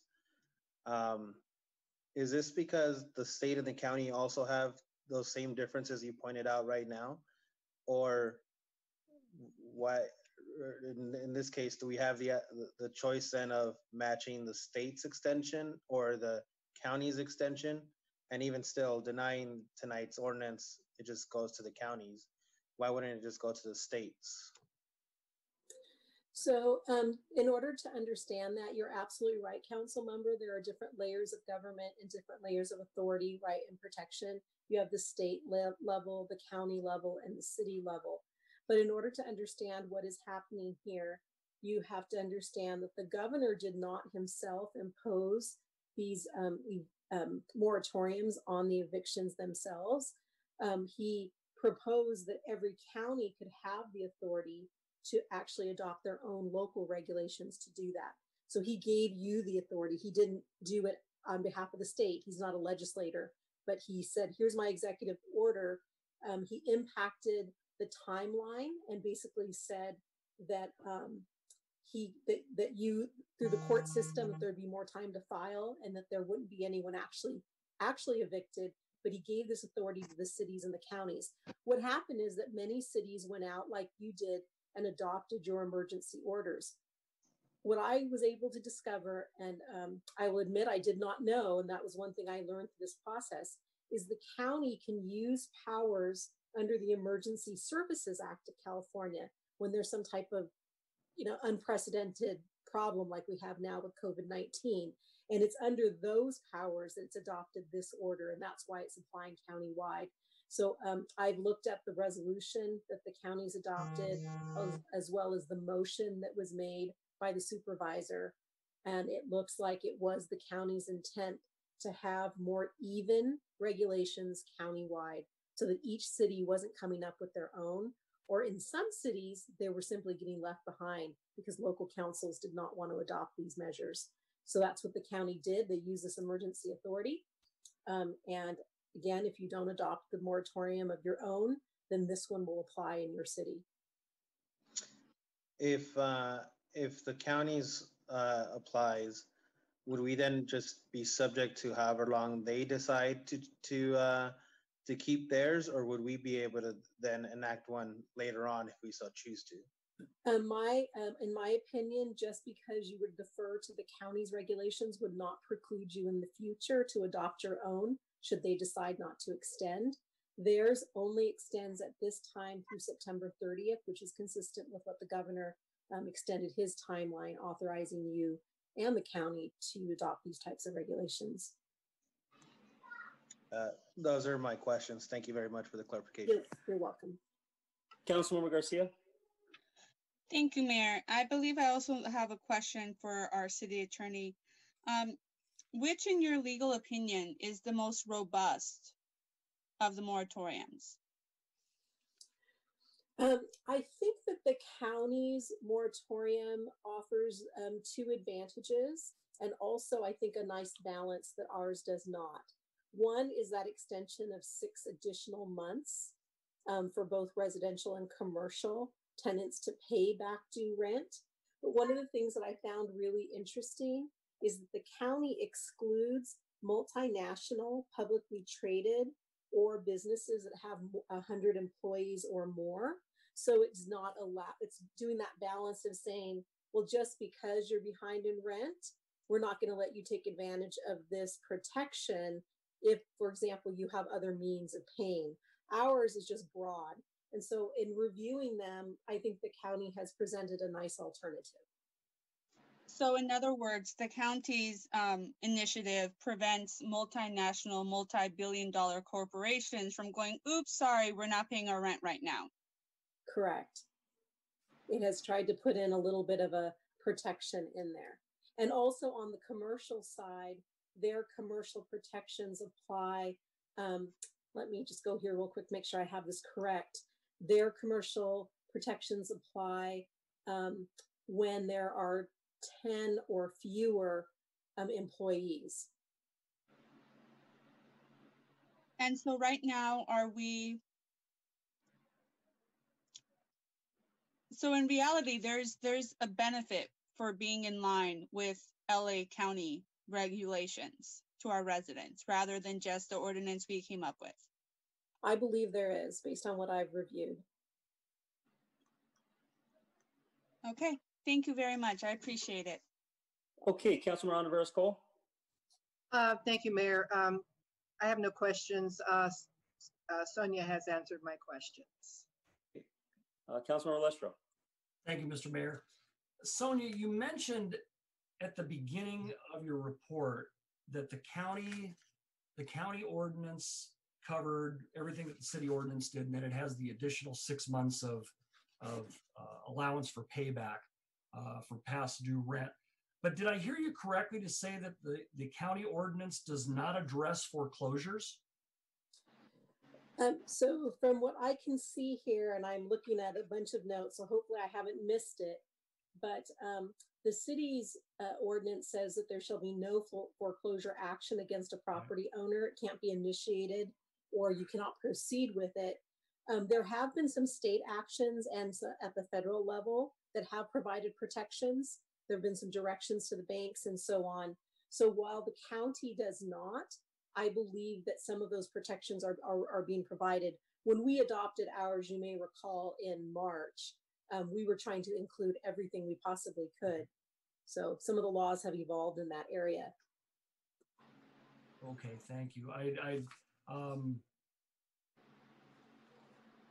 that's, that, that's all I have for now. I'm, I'm kind of, uh, uh, leaning, leaning toward the, um, uh, the, the county's, the county's ordinance, because I think it uh, provides some additional protections. Thank you.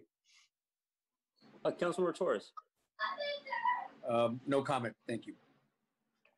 Um, thank you, uh, thank you, Counselor, for the explanation. I um, just want to share with the uh, council uh, how this developed. Um, I think all of us were certainly going into this with the idea of extending uh, the temporary moratorium uh, on foreclosures and evictions, and I I received a call from uh, Yesenia uh, Miranda Mesa, who is a part of Push, and uh, she shared with me um, some of the uh, steps that other cities are taking and shared with me what the county is doing or what the county has done. And um, I, I reached out to Sonia to ask about this, and I think it was a, uh, an important conversation to have because I don't think any of this would have been uh, came forward uh, today. Uh, so I want to thank uh, Yesenia for that work and, and also Sonia for uh, doing uh, the extra investigation because I know you just you spoke to several uh, folks about trying to understand the county measure. And the bottom line is that the county measure is a measure that is provides greater protection to our tenants and renters and obviously, it's a very significant issue for folks right now. Uh, in the concern that uh, they have um, they have about being able to survive uh, this difficult time, and I and I genuinely believe that ultimately there's going to have to be a stimulus that helps not just our renters, but obviously by helping our renters, we're helping our landlords, uh, particularly our small uh, landlords who uh, may be struggling uh, during this time.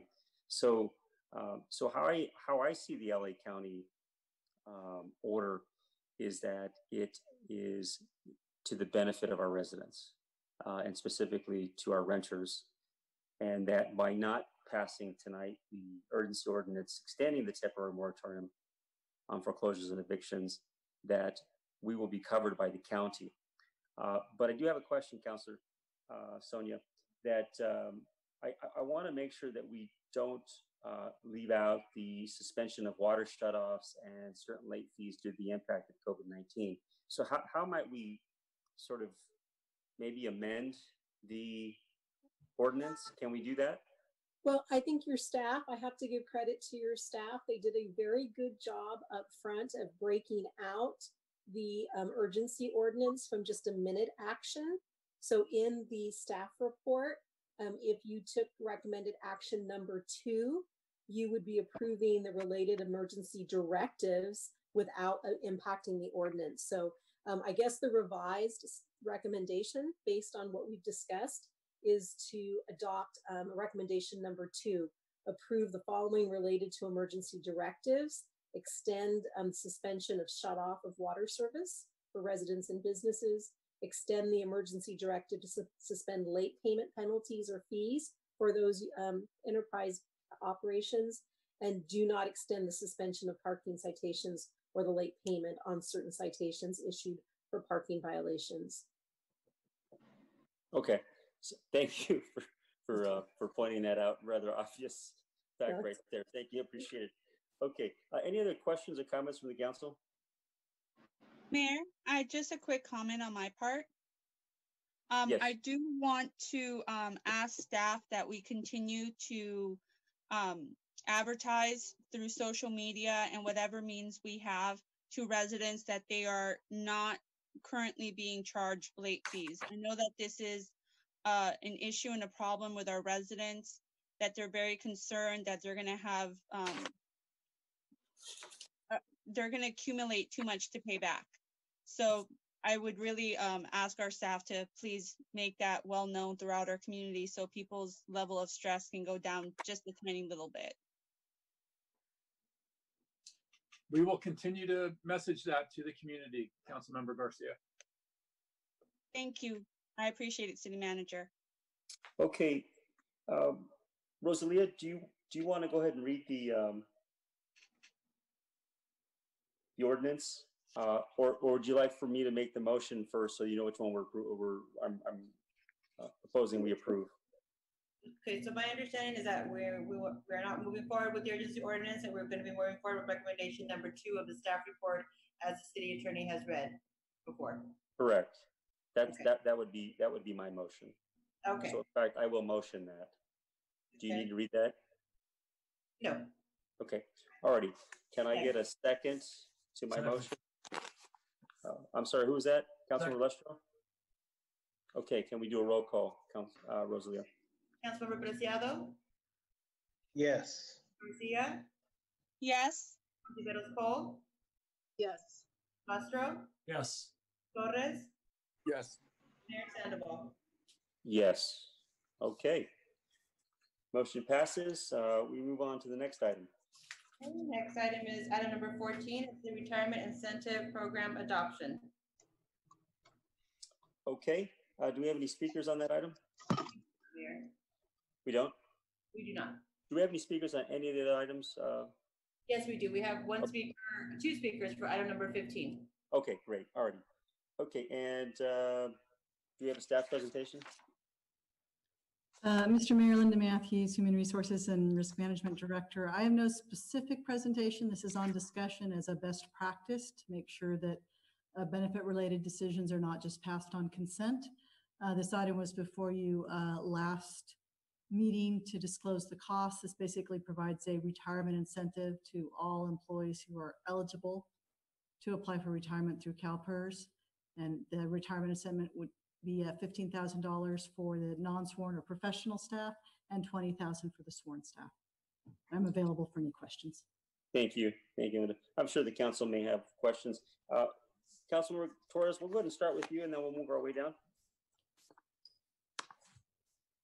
Yeah, just a question from the city staff in terms of what was the feedback from employees regarding this uh, proposal? Um, we did meet with uh, each of the unions on um, several occasions, and some of it was more informal over the phone conversations. Um, I believe on the um, non-sworn side with the Teamsters and uh, PMMCEA, they're they're um, think this could be a good proposal. I don't have an, an idea of how many will take it. Um, from the sworn side, they do believe that the 20,000 is not sufficient. They made a request to uh, increase it to 30,000 um, which I think was reviewed. We're not recommending the increase, and we are recommending the 20,000. When you said uh, we recommend, is the staff that um, takes that information and then makes, you're saying the staff came up with the recommendation not to go with 30,000?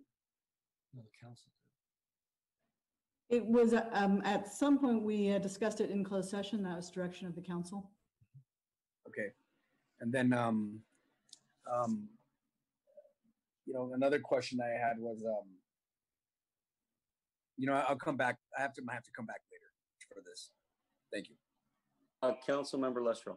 Um, no questions, Mr. Mayor. I think uh, that the the information that was provided by uh, provided by staff regarding the retirement incentive in the previous meeting was uh, uh, was sufficient. Thank you.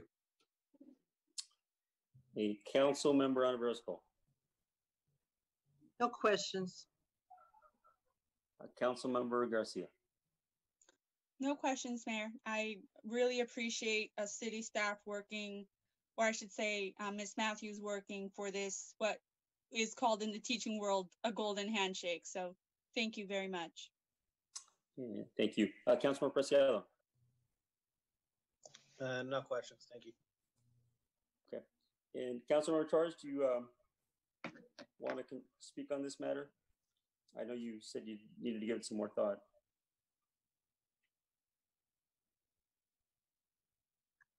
Yeah, I just want to encourage um, the staff and the, and the workers to contact me um, and um, uh, to give me their thoughts on on what they feel about this. Last thing I want to do is make a decision, um, you know, without their input. Um, I've been contacted by several employees who've been concerned by some of the comments by some of the council members in the newspaper. Um, and I just want to encourage employees that um, I want to reassure the city employees that um, you know we as a city support them, and that this uh, proposal here um, that I hope um, is not a slap in the face to them, um, but instead is uh, you know a, a a step in the right direction in terms of the cities trying to work with them and find a a solution. Now, if, if the negotiations are not going um, as the staff says they're going, or or if something, something's incorrect, I, I hope that the workers would let me know. Um, that's all I have to have. That's all I have to say. Thank you. Any other comments or questions from the council? Okay, I will uh, need a motion uh, from the council. Move to approve, Mayor? Okay, I have a first and I've got a second. Already, council member, uh, roll call, Rosalia? Roll call, uh, Councilmember Preciado, Yes. Garcia, Yes. Tiveros Cole, Yes. Lustro, Yes. Torres, Yes. Mayor Sandoval. Yes. Alrighty, we'll move on to uh, the next item. Next item is discussion item number fifteen, is a discussion on approval process for temporary art and other innovative art projects citywide, and we do have two speakers this evening. Okay, uh, and do we have a uh, staff presentation? We do, Mayor. Okay, thank you, Nita. Thank you. And John, I'm going to share my screen here.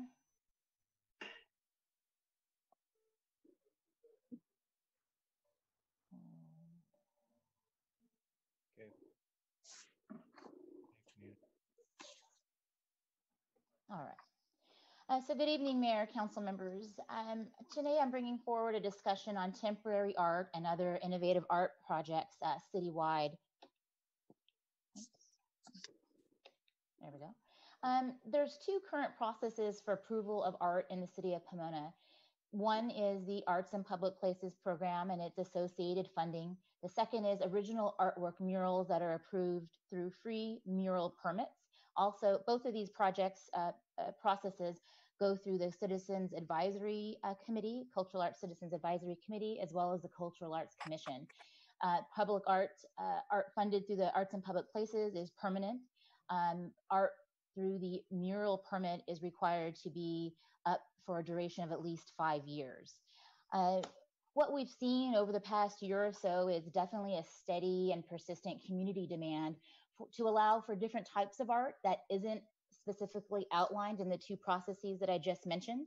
Um, uh, we've seen a lot of interest in doing a variety of art. I think there's a sense of uh, from the community that art creates place and helps um, uh, beautify their community. And so definitely um, an interest in the community in trying to expand the types of art that we allow.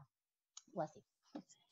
Uh, one of the ways that we would try to accommodate this is uh, one, we've tried to utilize the existing mural permit that we have in place, But again, there's some limitations with that because again, that contemplates a mural being in place for five years. Another way that we've tried to accommodate this uh, need from the community, uh, this desire, is through a pilot program uh, through the Activate Pomona permit. Um, uh, here's an outline, a five-step uh, process that we've created to do uh, over-the-counter approval of pop-up art as as is allowed under Activate Pomona.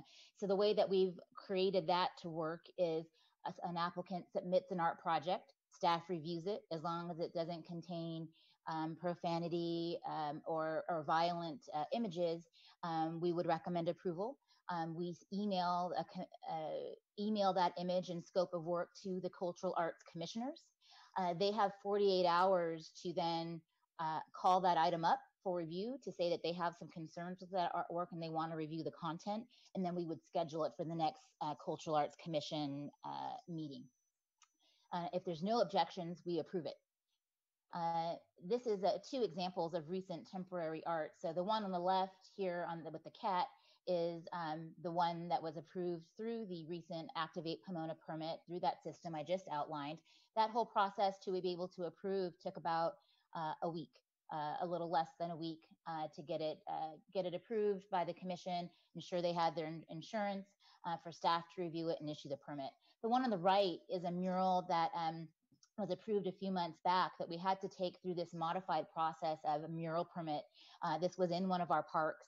Um, it had to go through both the um, Arts Parks and Rec Commission as well as the Cultural Arts Commission. So it took, uh, again, over a month to get approved because it had to go to both commissions, get approval for location, and then come to Cultural Arts as a matter of um, uh, a commission, an agenda item to get their weigh in and feedback. Um, here's some different examples of other temporary art that we've received interest in. So this would be uh, wraps for some existing uh, utility uh, utility structures. This is shown in the right of way. There's also uh, utility boxes that are in parks that we've gotten inquiries on. Uh, here's another idea of some other temporary art. This was a, is moving murals. So it's a, a, board or a wall that's established somewhere in the city, and there's uh, murals that are painted on it, uh, temporary, again, temporary, and then there it could be interchanging and you move it throughout the city. So these are some of those innovative art ideas that aren't contemplated in the AIPP funding or in the mural permit. And so we're looking for some feedback from council on um, what council's thoughts on that are. Uh, we've laid out six key questions that we thought uh, might be helpful for council to weigh in on um, over the counter permit, uh, over the counter art permits, review of content, maintenance, liability, accessibility, and place-based sensitivity or place. Um, there's three of these that I'd like to focus on this evening uh, for council to weigh in on. Uh, the first of those, again, is the over-the-counter permits. Is this something that the council wants uh, uh, for it to be an over-the-counter ministerial review? Or is there a threshold where council believes some of this artwork should go to Cultural Arts Commission as an actual public hearing? Um, so we're looking uh, to hear from council on that. Um, secondly, on content review, uh, who who does council believe that that has the purview for reviewing uh, and approving content? Is it um, what we've struggled with in this uh, trying to make a, a, way with our current mural process is um, Parks and Rec has been approving location and then Cultural Arts has been approving content, but it hasn't been clearly defined. And I think, uh, frankly, staff and, and, commissions have struggled on who has that role, um, who reviews the content. And so we're looking for, again, uh, council's uh, opinion here. And if it is going to be a ministerial over the counter, um, is it staff reviewing it? And then, as I mentioned in that pilot program, um, maybe a mechanism is then it's uh, we offer it to the council to be uh, cultural arts commission to be called up or if staff feels they can't make a decision on it we automatically place it on the agenda for uh, a public hearing at cultural arts uh, third issue is a, a place-based uh, sensitivity or place. Um, so uh, due to different locations and where people gather in parks, um, again, I, this this relates to what commission do does the council believe should be reviewing this. So in particular, I think as outlined in, in the staff report presented, there are some nuances in particular with our parks. I think there's a lot more ownership of community over parks. Um, and so we want to ensure that the appropriate body um, is reviewing it for um, any sensitivities that may be associated with um, a particular place that a community has, you know, um, feelings for. So um, what that might look like is if uh, is if do all of these items need to go to Parks and Rec? I know Parks and Rec is considering doing a, a survey of all of the locations um, by which they would allow art. So if that's the case and they've already identified the locations, are you okay with it not going to Parks and Rec for content as long as they've already identified the area and it just goes to cultural arts um, if need be or review by staff? So those are some of the questions there. Um, staff's recommendation is uh, there's two options. Uh, the first is, which is what staff is recommending, is establishing a ministerial over the counter permit process, something along the lines of what I outlined in that pilot program. And the reason for that is again because we've heard the need, uh, the request from the community to allow for different types of art, again temporary, um, and again what that may mean to one may mean something from another. Uh, we were thinking of something along the lines of six months to a year is temporary. Um, and to allow for some of that art to come in um, uh, on a consistent basis and not kind of be bogged down in a, in a heavy process. Uh, so that's staff's recommendation, and then I'll come back to these uh, guiding questions for, for uh, council to comment on. Uh, and, and, that concludes my presentation, and, and, happy to answer any questions. Thank you, Anita. Um, Rosalie, do we have any speakers on this item? I think you said we had Yes, we couple. do. A few speakers, yes. Okay, you want to go and read those? Sure.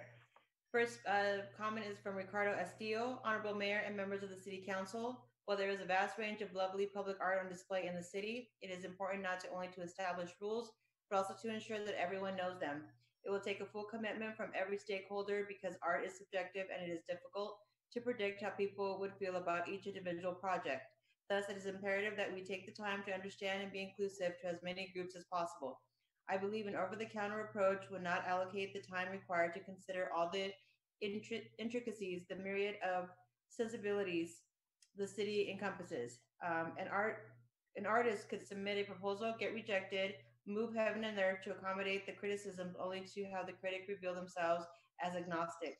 Then the process starts over or the artist gives up. On the other hand, even after a full review, what assurance are we given that uh, what has been substituted is what ends up being installed. Um, as an ardent supporter of the arts, I'm hopeful that public art projects uh, that meet approval ultimately do not disappoint. Next comment is from Margaret uh, Achille. The dA Center for the Arts is in support of a user-friendly process for public art projects. The dA has been and remains an invested advocate for many years for this type of positive activity. The arts invite public dialogue, add to a community's creative learning, provide a safe and powerful tool to engage residents of all ages, and ultimately build a healthier culture. The dA would like to be considered as a partner to bring awareness to this program and to help residents of all ages with this process once it is decided. Thanks to from the California Community Foundations and the Getty, the dA has provided over 250 Zoom studio, Zoom studios from drawing, painting, music, dance, creative writing to homes District in Pomona during COVID. We prioritize the children and families with the funds. They had never heard of the dA, and it is very clear they all want more art in every form. Based on our conversations with the far reaching households of Pomona, I know the residents would be in favor of this improvement. And that was the final comment, Mayor. Okay, thank you, Rosalia. All right, um, Councilmember Preciado, would you like to weigh in? Uh, yeah, you know, first I'd like to start off by thanking staff um, I know earlier in the year, uh, we had asked to start setting up uh, a standard and, uh, and, and, and, rules and regulations for uh, temporary art. And I think that's the first part that I'd like to start off is making sure people are clear that this is for temporary art. Um, I'd like your suggestion, Anita, uh, Director Gutierrez, about keeping it um, to six months to a year or, or less as, as defined by the applicant, what the applicant chooses to do, um, as long as it, it stays in a temporary um, time frame. Um, and maybe I can also ask this question, would you like for us to go over all six items individually or just just say yes or no? What would you prefer? And sure, if Mayor, you have an opinion. Mayor, you want to, maybe you want to jump in and say something. Sh- I mean, from our perspective, yes, if you have a comment on uh, those six, that would be great. I think the, the three key ones are here, but if you have comments on all six, that would be fantastic. We're looking for any feedback that you have. I, I, did give you, um, I- we were talking about this earlier, so I'll just try to go through it as fast as I can, and, and maybe you can uh, help me align with what we, uh, we went over earlier today. Um, I think on the first one, on over-the-counter art permit, uh, first of all, like, what is the threshold? I think it, the, the, the permanent murals still need to, we're not touching that, that process. And so the only over-the-counter permits that would, yeah, get looked at on the over-the-counter review, I, I believe should be the temporary art application. And I like what you suggested on the pilot program that's been uh, going on with Activate Pomona, where it would be a hybrid, um, where the Cultural Arts Commission would still get notified. And I want to include that any um, any overlaying commission. So if, if, if it happens to be on a on a, uh, on a location-based purview of, of another commission, for example, at a park, uh, that that maybe they get an email as well but I do want to make clear that I believe that the, that that would be for um, for location and uh, the content would still be viewed at the Cultural Arts Commission, where even any other commissioner would be able to go and speak at the Cultural Arts Commission towards content um, as as a as a resident. Um, are, are, are we are we on the same page? I am, uh, just one question is, understanding what I'm saying? I did, yeah, if, but if, would you want the Parks and Rec Commission to be able to call the item up as we're, uh, doing with the Cul- Cultural Arts Commission? Or more just an FYI? more just of an FYI. Okay. Uh, I believe that, uh, like the, the parks, you said that they're doing a study, so all locations are, what, should, should already be identified at that point by the applicant. And if there's a new location that is not yet identified, then I think it should go to the uh, applying, uh, body of voting body. Um, number two, content review. Uh, like I said, Cultural Arts Commission with a 48-hour appeal process sounds fine with me. Um, number three, the maintenance. I believe maintenance needs needs to be uh, maintained by the applicant, and there should be some type of agreement that if it is not maintained, it gets removed, and if it's vandalized, maybe they have uh, an opportunity to fix it, or it can get removed. Um, as far as liability, we were speaking earlier about uh, maybe getting further further uh, information, but as long as if it's on a uh, as as you did with the uh, Activate Pomona and, and uh, the one that was done in the VPD lot, it was work was going to take place during a, a sidewalk, so that we did have them submit a uh, an, an insurance, and as long and if it's taking place in a, ri- a public right of way, then insurance makes sense to me. Uh, I'm sure there might be certain locations based on uh, risk management on maybe where it's just not needed, where they just can go ahead and paint. There's no danger to the surrounding area or the uh, or, or, or- or the where it's getting painted. Um, five, as far as accessibility and how, and just so people can read, uh, if, since if they might not have caught it, and uh, I see that's not on the screen. It says accessibility. How can the city ensure that any and new permitting pathway is accessible, equitable, and easy to complete so as to not discourage new committee-driven art initiatives? And uh, I believe uh, Margaret from the dA was also speaking towards this. Um, I believe that the, the less red tape, the better, and that would be able to help encourage equitable uh, art throughout the entire city. Um, and then for uh, number six, place-based sensitivity or place uh, for, um, you know, if it's a temporary, uh, again, if it's a temporary permit, then the Cultural Arts Commission and any applicable body would have the opportunity um, to to bring it up to their commission if they so believe it needs to be. Thank you. Is that, is that it, Councilmember Purcell? Uh, yeah, no further questions. And again, thank you very much for this work. Okay.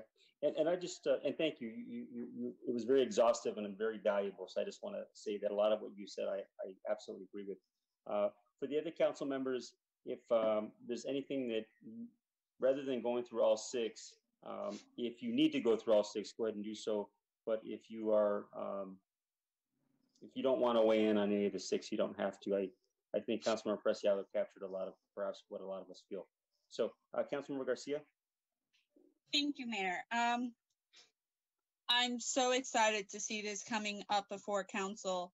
Um, if Anita and Director, um, if Director Gutierrez and Director Diggs remembers, two years ago, I came to them asking what we could do to beautify some of the water properties around Pomona. And I, in my um, ignorance of art, suggested some movable walls made out of pallets. And so I'm very excited to see that we're actually moving something forward after those conversations a couple of years ago.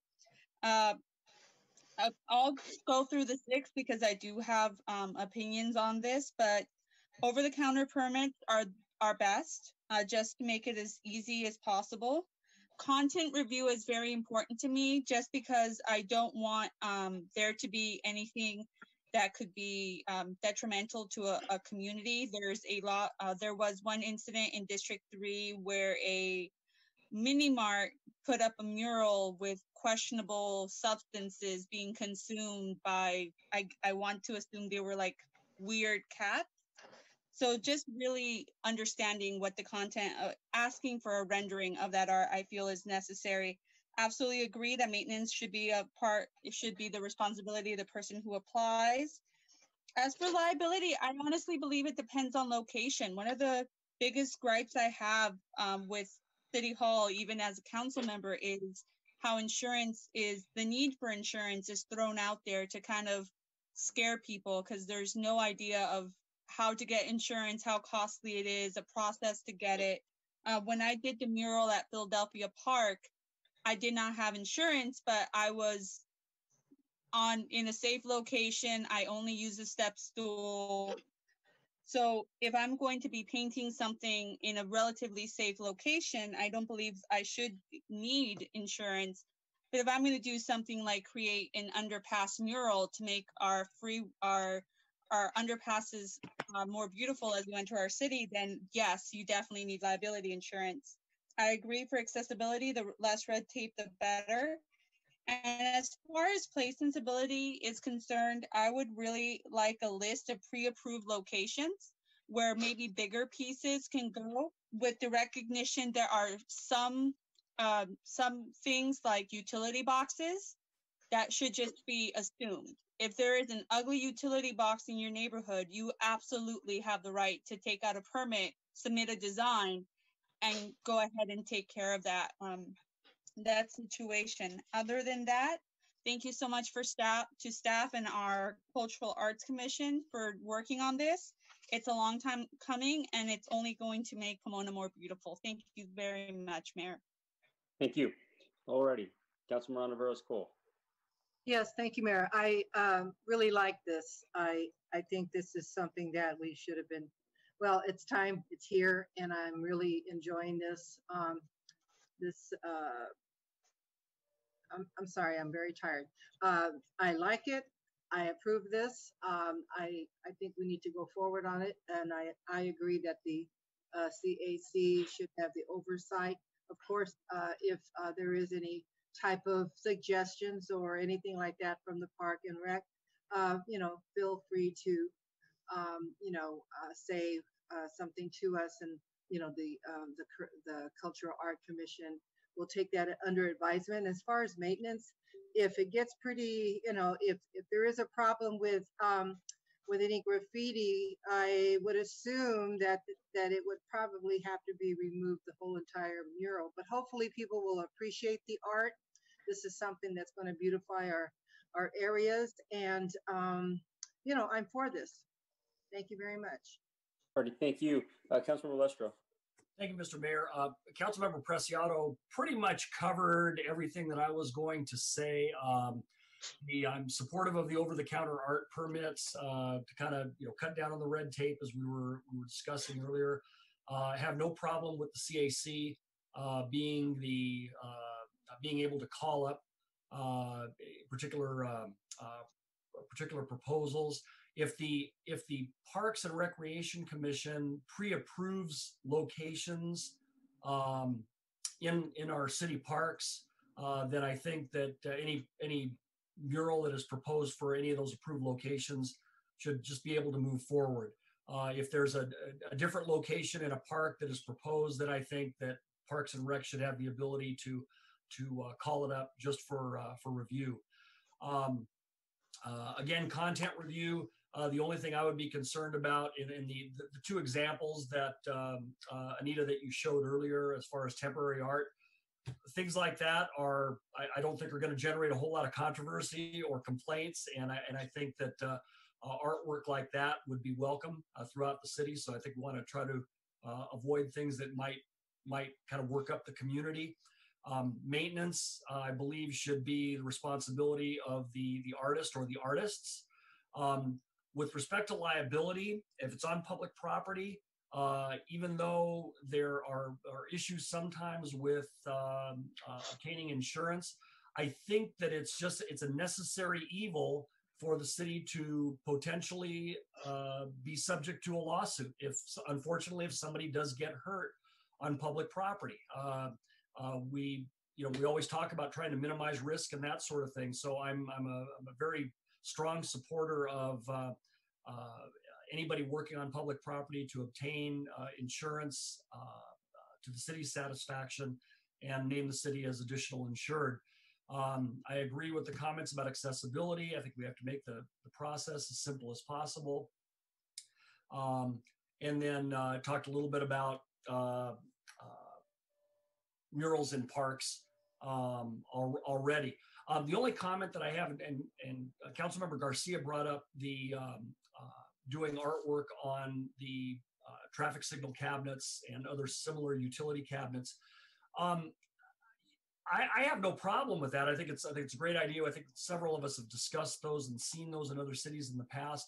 But I, I guess my question would be, and maybe this is to Anita, if we we move forward on something like that later on, wouldn't that be of a more permanent nature rather than a temporary nature? Well, actually, it's a great question, Councilmember Lustro. So actually, uh, uh, Director Guerrero and I have discussed that. Uh, and uh, one of the examples he's brought forth is what um, they do in Pomona is instead of paint, which can be uh, difficult to maintain, um, take off, remove, and right, it kind of becomes permanent, um, is do wraps. Uh huh. And so, in particular, that's an idea we thought of that might be a really great uh, youth-led project to get a lot of youth to per, uh, do um, art projects for that and then get them all funded and get them all uh, all the wraps funded and, and wrap a lot of our utilities. It's something they currently currently do in pasadena. Mm-hmm. yeah I, have I've seen that i've seen that occur in a couple of other communities and ever since the first time i saw it i thought i thought that's a project we need to pursue in pomona. So i'm, I'm absolutely supportive of that of that that type of project. Thank you. Great. thank you. Uh, councilmember torres no comments. Just glad this is uh, coming uh, to the city council for approval. Thanks. Okay, thank you. Uh, I'd like to repeat everything that everybody said uh, by not saying it. Uh, so just, you know, thank you everyone for your comments. Um, I, um, I, I like simple. Uh, we need to flood the city with art. Um, and it's certainly an opportunity to beautify the city. It's an opportunity to stir conversation. Uh, it's an opportunity to highlight different neighborhoods. Uh, it's uh, I, I, just think it has a way to has a way of bringing people together. And uh, so the Activate Pomona process that you laid out there, Anita, I'm full support of. I won't go over all the six. I think that you have some good uh, recommendations, suggestions to work with. Uh, so in terms of the motion, uh, could I get a council member uh, to make a motion um, for this item? I'd like to move the item, please. Okay. And uh, do you need some direction, Anita, on what, when we say move the item, what specifically? Uh, no, I, yeah, thank you, Mayor. I think it was very clear. I think it's really uh, recommendation number one, which is direct staff to create a ministerial over-the-counter review process in line with all the comments that you've said this evening. Yeah. Okay, good, good. All right, already. And the second was made by Councilmember Garcia. Okay, so motion made by Councilmember Preciado, second by Councilmember Garcia. Uh, Rosalia, will you do the roll call? Councilmember Preciado, Yes. Garcia, An enthusiastic yes. Ontiveros Cole, Yes. Lustro, Yes. Torres, Yes. and Mayor Sandoval. Yes, let's move on to the next item. Thank you. Next item is uh, item number 16. It's to designate a voting delegate and alternate for the 2020 League of California Cities Annual Conference. And this is actually one of my items. Uh, Just really quickly, uh, the League of California Cities Annual Conference is scheduled for October 7th to the 9th, 2020. The annual business meeting is scheduled for Friday, October 9th, 2020. At this meeting, the league membership considers and takes action on resolutions that establish league policies. And uh, an appointment of a voting delegate and alternate must be made each year in order to take part in the voting of the annual business meeting. In addition to a voting delegate, the city council may also appoint up to two alternate voting delegates, one of whom may vote in the event that the designated delegate is unable to serve in that capacity. Okay. Um, Any comments from the council? I, I certainly have a recommendation. um, Unless the council has a uh, strong opinion one way or the other. Artie, I recommend that the mayor be the voting delegate and that the vice mayor be the alternate. I appreciate being voluntold. Yes, I support that, Mayor. Yeah, and, and, and- and, and I think you, Rosalie, you had asked for a second. Yes. Um, uh, Is there anybody on the council that would like to be an alternate? And I would imagine that the way it's going, in terms of how it might have looked in the past where you actually attend uh, a, a given location, this is probably going to be done virtually. Yes, currently, currently right now, it's, it's stating that's going to be, I believe, in. Yeah, Long- it's, it, it's, yeah, it's going to, Most like, yeah. yes, it'll be done this way.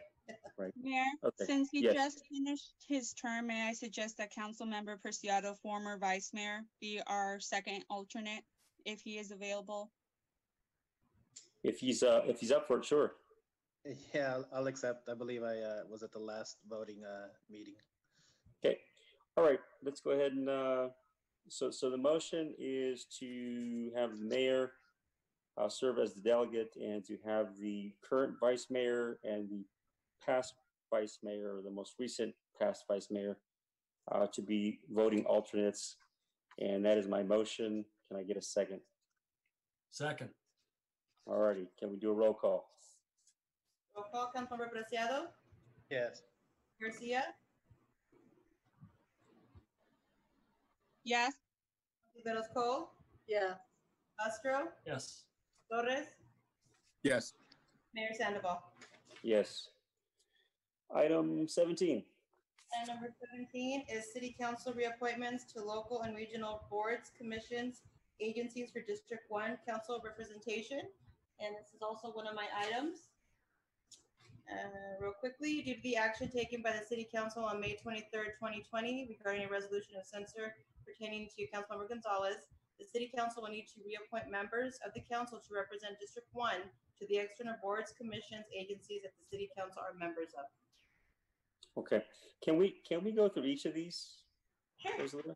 Okay, uh, just, just because, uh, I know, for example, on the sanitation district, I'm currently the, um, designee, and I want to, um, um, give up that position to Councilmember Lustro, who is my alternate.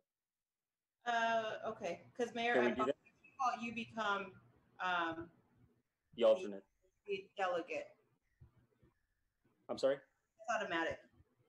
The, it's, it's a mayor, mayor by default automatic, um, for the county sanitation district. Okay, so, Yeah. uh, if, so, so can I step off that board? I, I believe you could, I mean, if you, yeah, if you Well, want, what, what, what I'm saying is I'd like to just switch. I, I guess, I guess probably the easiest path, right, is that Councilmember Lustro just starts attending those meetings as my alternate. Yeah, I think that's fine. okay, we can do that. Okay. I just want to make sure, I just want to make sure he gets, uh, compensated appropriately for his time. Okay, so did you want to go through each item, or did you just want to go through the ones that, um, Yeah, just, just the one with Councilmember Gonzalez. The only reason I raised that one, because I was gonna bring it up with you. Um, uh, privately. Uh, but I do, I do want to just uh, let um, you know that uh, Councilmember Lustro will be um, attending those meetings. So yeah, let's go to the specific, the ones that are specific to Councilmember Gonzalez. Okay, uh, so on your roster, uh, that was attached to your staff report, uh, on page two, the first item would be, um, Pomona Valley Protective Association, where we have, uh, you, uh, Mayor, and also Councilmember Gonzalez and Councilmember Preciado. So we would need, uh, Yep. someone else in that position. Okay. Um, could I recommend Councilmember Lustro? Councilmember, would you be open to it? I'm, I'm, I'm looking, I'm looking at the date of the meetings and I, I think I can make most of them. Okay. Okay. Alrighty. Um, do, can, can we, do we have to take each of these separately, Rosalia, uh, in terms of how we vote? If you would like, Mayor, we could do all of them and then take one big vote at the end. Okay, that'll be good. Okay. Alrighty. Uh, next, uh, would be Pomona Walnut Rowland Joint Water Line Commission. And we have, uh, Councilmember Gonzalez as the delegate and Councilmember Preciado as a voting alternate. Mayor, Sure. if I can, uh, if I can suggest, uh, there's, I believe there's like two times where I'm, uh, I'm the alternate for, uh, Councilmember Gonzalez. I don't mind, I, I've been taking actually the role lately. So I don't mind being moved up and then finding an alternate so that they can also start getting used to these meetings. Yeah, that, that was, that was gonna be my, my recommendation, uh, Councilmember Preciado. Um, I I think it's more of a question of, um, on those two boards, one of them is the Pomona Walnut Rowland Joint Water Line Commission, and the other is,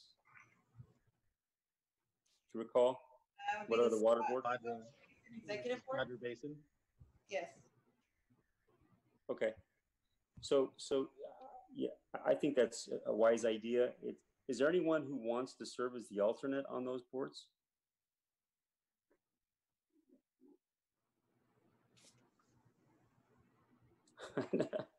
I notice everybody on the council is kind of looking away. I'm sorry, Mayor. Um, I'm trying to consider which ones I can make, um, considering when school lets out and staff meetings. I know that the school year is gonna look very different, but I don't want to shirk my duties as the teacher. Um, if you'll just, um, give us a moment, um, I'm sure we'll step up. I, I would like to bring up, however, that I would like to step into Councilmember Gonzalez's shoes for the Tri-City Mental Health, um, board, if that would be all right with council. I've already looked at that and I'm comfortable with that time frame. Okay, thank you. All right. Uh, so, uh, any, so Rosalia, what if we don't have an alternate? Uh, you know what, um, what, what is, uh, oh, we Well- should have an alternate. And, and by the way, the alternate rarely has to attend, uh, these meetings, correct? Okay. The delegate. So, so let's go back to the Pomona Walnut Rowland Joint Water Line Commission. I need an alternate. And the, ver- the likelihood that you'll have to attend uh, is highly unlikely. There's only three meetings in the year, so. And at this point, if you were to attend, probably be through Zoom or some other type of online. You know, I'll, I'll, I'll, I'll tell you, I'll tell you what, uh, I'll just put my name down as an alternate. Thank you, Mayor. All right. And what's the next one? Should Next we also, um, sorry, Tim, I, I'm just noticing right now. Should, can we also get the, the city staff member updated? Uh, we have a new water director. Absolutely. Thank you. We also have a new city manager. Correct. All right, the next one. Next one is BIA, the Building Industry Association, Baldy View Chapter. On page three. Do you do you recall if they've met? Um, I don't think they have in a while. If anybody else knows different, please chime in. yeah, I, yeah, I don't I don't know that they've met um, in recent memory. Can can can you find out about that one so that way? I can. As it says here, it says meets on an as on an as needed basis, so whenever there, someone's needed. Okay, Uh, So it's not a regular scheduled meeting. sure, sure. Would, would- would anyone want to step into that role?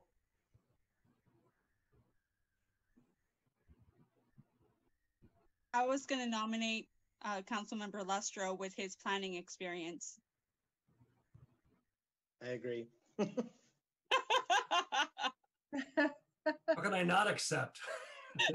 Voluntold. No, I'm- that, that's fine. I'm willing to take that one. All right. Okay. And then the next one, Rosalia? One is the Blue Ribbon Committee of the Los Angeles County Fair Association. And actually, he's uh, obviously representing for for District One. Yeah. I mean, Robert, I don't remember, when was the last time we met? I don't think, I don't think we've, I mean, it's been a long time, so, They don't want to meet. yeah. So, so in terms of the, um,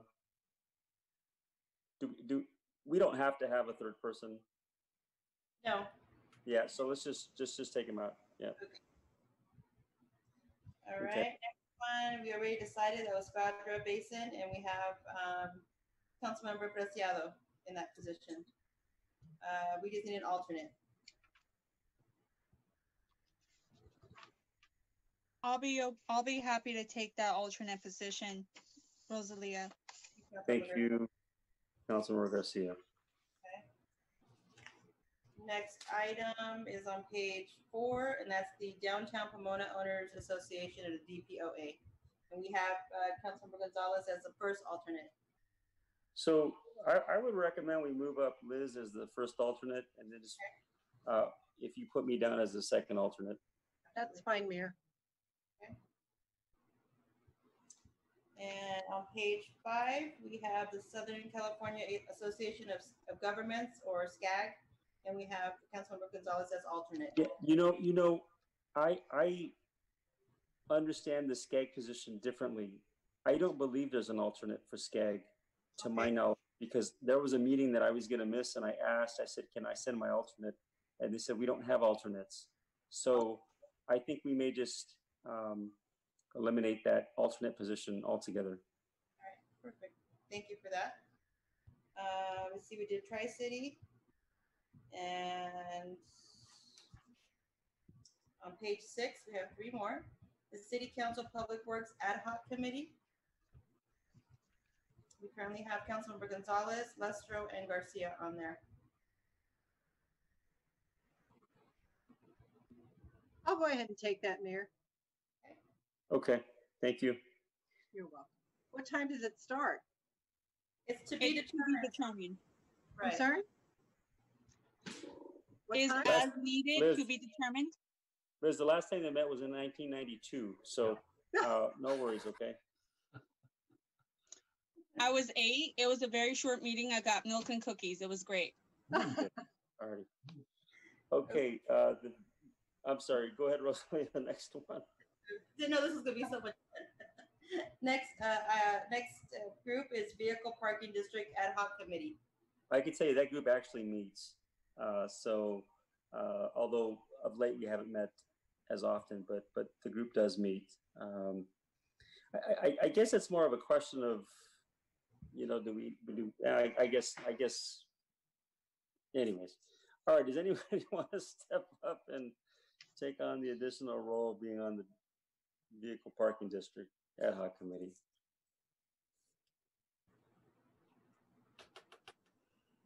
I can tell you they do feed you. And uh, the meeting started at five thirty PM. Thank They're you, Councilor Lustro. Appreciate it. Uh, Just put him down. That's, uh, it's in the charter that I could assign him that, so. All right, and the Thank you, Steve. Last one is the Environmental Resources Ad Hoc Committee, where we have Councilmember Garcia, Gonzalez, and Torres on there currently. I believe Yeah. our last meeting was canceled. Uh, so this really is as an as-needed basis.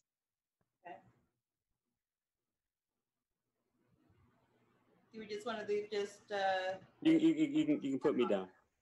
okay? Put me, yeah. All right, And that's it. So let me go ahead and get a first and second on all those um, changes there. Mayor, Yes, Councilmember Preciado. I don't know if anybody's available, but um, I had brought this up before, but they just, I was told to just kind of leave it and it wasn't gonna really make a much of a difference. Um, I'm also on the PVTA and it, and, and we, and it's a, it's a time conflict with PVPA. So the Pomona Valley Transportation Authority meets at the same time as the Pomona Valley Protection Agency. So if, I don't know if anybody wants to take the Pomona Valley Transportation Authority um, seat for me. Uh, I know Councilmember Garcia has been doing, uh, I believe she's the chair at the moment. So which one are you talking about? Uh, Pomona Valley Transportation. So, so since Liz has spoken, uh, she will uh, take on that responsibility. Which one are we talking about, Mayor? Just uh, you're gonna be uh, you're gonna be uh, An the alternative. C- the CEO For- of the uh, Pomona Valley Transit Authority. Pomona Valley Transit. They meet weekly for three hours via Zoom. It's for the Get About Services, uh, council member, um, Cole. It's, you only have to show up if I can't. Okay. Councilmember, you that's have, my- Pomona you have Valley. my full you have my full support. Okay. Okay, so what is it again? I'm sorry? It's on page five of your um, roster, council member. It's the Pomona Valley Transportation Authority. You know the um. Okay, Alrighty, thank you. We appreciate you stepping up there. you're Okay. welcome. All right, let's go ahead and get a motion to approve the recommendations to the changes to boards and commissions and ad hocs. Can I get a motion? Motion to approve. Can I get a Second. second?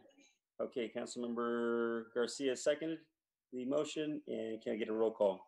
Roll call, Councilmember Preciado, Yes.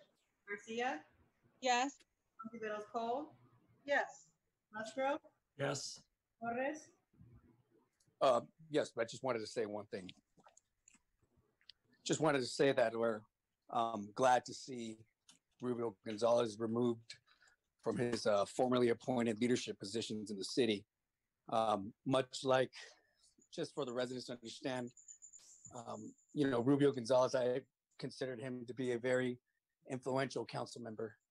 Um, he had been appointed to many leadership positions um, by the council. Um, and you know much like how he was placed into the school district um, you know and it's it's it's just it's a relief to see him removed and uh, to see his pay being removed. Um, i know there was a comment earlier by the city attorney that um, all he has is this title but i think that this right here shows that he was getting paid and he's still getting paid. And for what i understand he's still receiving salaries uh, and health care um, so uh, this is a first step to removing him from his leadership positions given to him by the city. I'm glad to see him, um, you know, the city disassociating themselves from him. So I am a yes vote on this. All right, Okay, and Mayor Sandoval. yes. All right. If we can move on to the next item. And Item is public hearing, item number eighteen, approving and adopting the revised five-year permanent local housing allocation plan and authorizing submittal to the California Department of Housing and Community.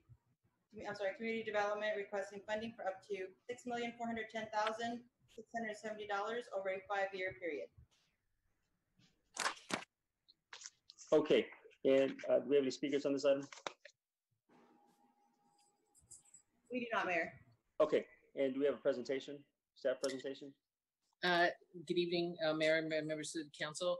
I don't have a presentation, but I did want to let you know that um, the council actually voted on the, uh, authorize the adoption of this, uh, um, the permanent local housing allocation plan on May 18th uh, for submission to the Housing and Community Development um, uh, Department. And um, after receiving it, they provided staff with some feedback, and that's why it's before you again tonight to uh, provide the revisions that they gave us. Um, most specifically, they wanted more information directed at um, what we were going to be doing with the funding, not generalities, but more specifics for each of the years. So that's what you have before you tonight. Thank you, Benita. All right, at this time, I'd like to open the public hearing. I know that we don't have any speakers, so I'm going to close the public hearing and ask the council to weigh in. Councilmember Torres, we'll start with you. Any questions, comments? No comment. Uh, Councilmember Lustro No comments, sir. and Councilmember Ontiveros Cole. I'm sorry, Mayor. No comment. Okay, Councilmember Garcia No comment, Mayor. and Councilmember Preciado. Uh, no comment. All righty, can I get a motion? Move the item. And a second? Second. All right, uh, I think that was Councilmember Garcia did the second. Uh, If we can do the roll call, Rosalia? Roll call is uh, Councilmember Preciado, Yes. Garcia, Yes. Riveros Cole, Yes. Lustro, Yes. Torres, Yes. and Mayor Sandoval. Yes. Next item?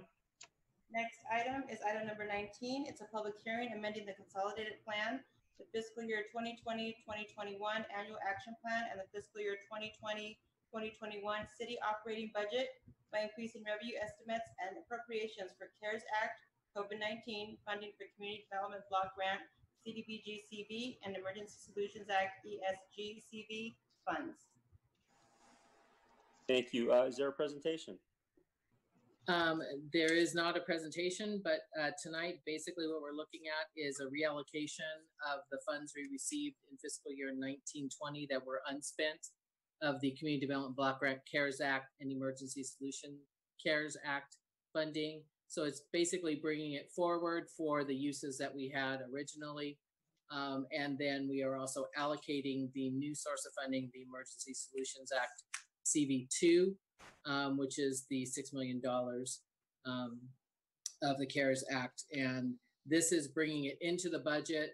The specifics, um, if there's any awards or anything like that, will be brought back to City Council um, or go through the purchasing process. Thank you, Maria. Um, At this time, I'd like to go ahead and open up the, open the public hearing. Uh, Rosalie, do we have any speakers? No speakers, Mayor. Okay, I'd like to go, close the public hearing uh, and then now open it up to the council to weigh in. Uh, Councilmember Preciado, No comment. uh, Councilmember Garcia, No comment, Mayor. Councilmember Ontiveros Cole, No comment, Mayor. Councilmember Lustro, Nothing, Mr. Mayor. and Councilmember Torres. No comment. All righty, very good. Can I get a motion? Motion to move. Okay, motion to approve. Can I get a second? Second. Okay, Councilmember Garcia, roll call. Uh, Councilmember Preciado, Yes. Yes. Riveros Cole, Yes. Lustro, Yes. Torres, Yes. and Mayor Sandoval. Yes. Thank you. Next item? Next item are matters initiated by the city council members, items for future city council consideration as requested by the mayor or members of the city council. Okay, we'll start with Councilmember Torres. Yes, thank you very much. Um, I'm, I'm- I'm sorry to report that, um, um, continuing to have, um, some issues off of, um, I believe it's, uh, Cove Crest uh, Way between, um, Drake and, um, Grove. Uh, some illegal dumping that continues to take place. Um, I think that what the city needs to consider, hopefully, because this is becoming an issue where we're having to spend a lot of money, um, is obviously we must place some type of um, no dumping signs if the city has those available to place those up on that particular street. And um, secondary, if we can get some type of, I don't know if we can get some type of letter to um, some of the housing developments in that area. Now, I'm not saying that they're particularly responsible for some of the uh, illegal dumping taking place there, but it'd be nice if the city could send them a letter um, I don't know, requesting to work with them in terms of how to address this issue. Um, because it seems that when residents leave that area or vacate either an apartment or particular housing, and I understand times are hard, but nevertheless, um, anytime there's a vacancy, there's illegal dumping taking place almost every other week, and it's a cost of the city, obviously. But um, if there's a way that we could sit down and work with the um, adjacent um, housing development, that would be great. And then second, second, uh, thirdly, um, you know, if I can get some type of update back on the um, the uh, project room key, um, just some information back. I know the city staff said that they were looking to uh, get some revenue and, and whatnot, and and um, I just wanted to see if I can get an update on that, um, and just see what the status is. Uh, fourth, and I'm sorry to keep giving you all this stuff, but it's very important because I'm getting literally dozens of messages on social media like every week. The homeless shelter.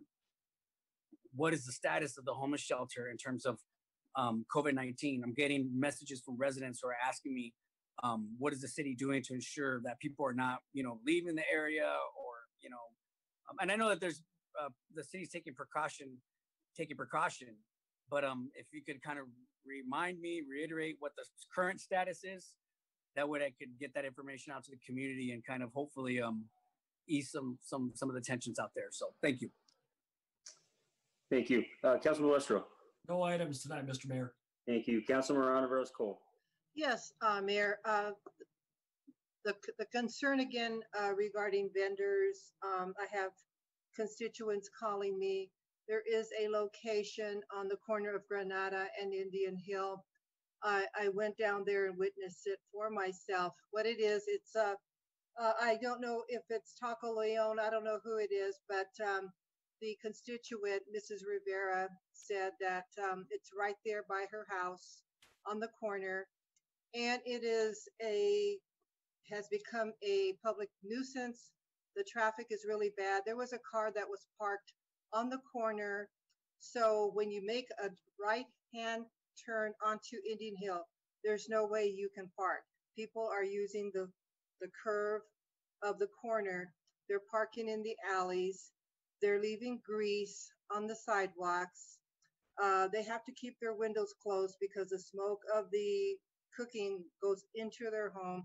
It's just a big mess. I had a call. Um, uh, well, I left a message with, um, you know, an email with um, with our city manager along with our supervisor, and also sent um, uh, various calls over to the police, hopefully that they would get these people who are illegally parked.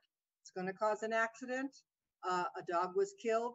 There was a dog there. I had witnessed that it had already been deceased. And the person that mentioned this and called me, Mrs. Rivera, they were cooking and everything, and the and the carcass was still there. How are we supposed to enforce this? I mean, we have to be very careful. And so I am really urging that the um, um, uh, Los Angeles County Health Department is notified. Hugo, the supervisor, sent me an email. He said that they were backed up, that they had other cities to take care of. But you know what? Our city counts too. So we really need to push on the Los Angeles County Health Department to come out and start doing their job for, for the city of Pomona. So um, what are we going to do about these vendors? We need to start doing something. Three of them were on Holt Boulevard and they were called out and they said they had permits. Really? Well, what about the brick and mortar? They're the ones that are losing money. They're, they are paying all kinds of uh, insurance and permits and licenses and rent. And yet these other people can come and sit right on a corner and make money and take the revenue that, I mean, are we really making any money off of these things? No, we're not. So we need to enforce this, and that is my comment tonight. Councilwoman Garcia. Good evening, Mayor. Um, I too have noticed an increase of illegal dumping, and I would like to ask city staff if they can recall the last time we notified residents about the bulky item pickup.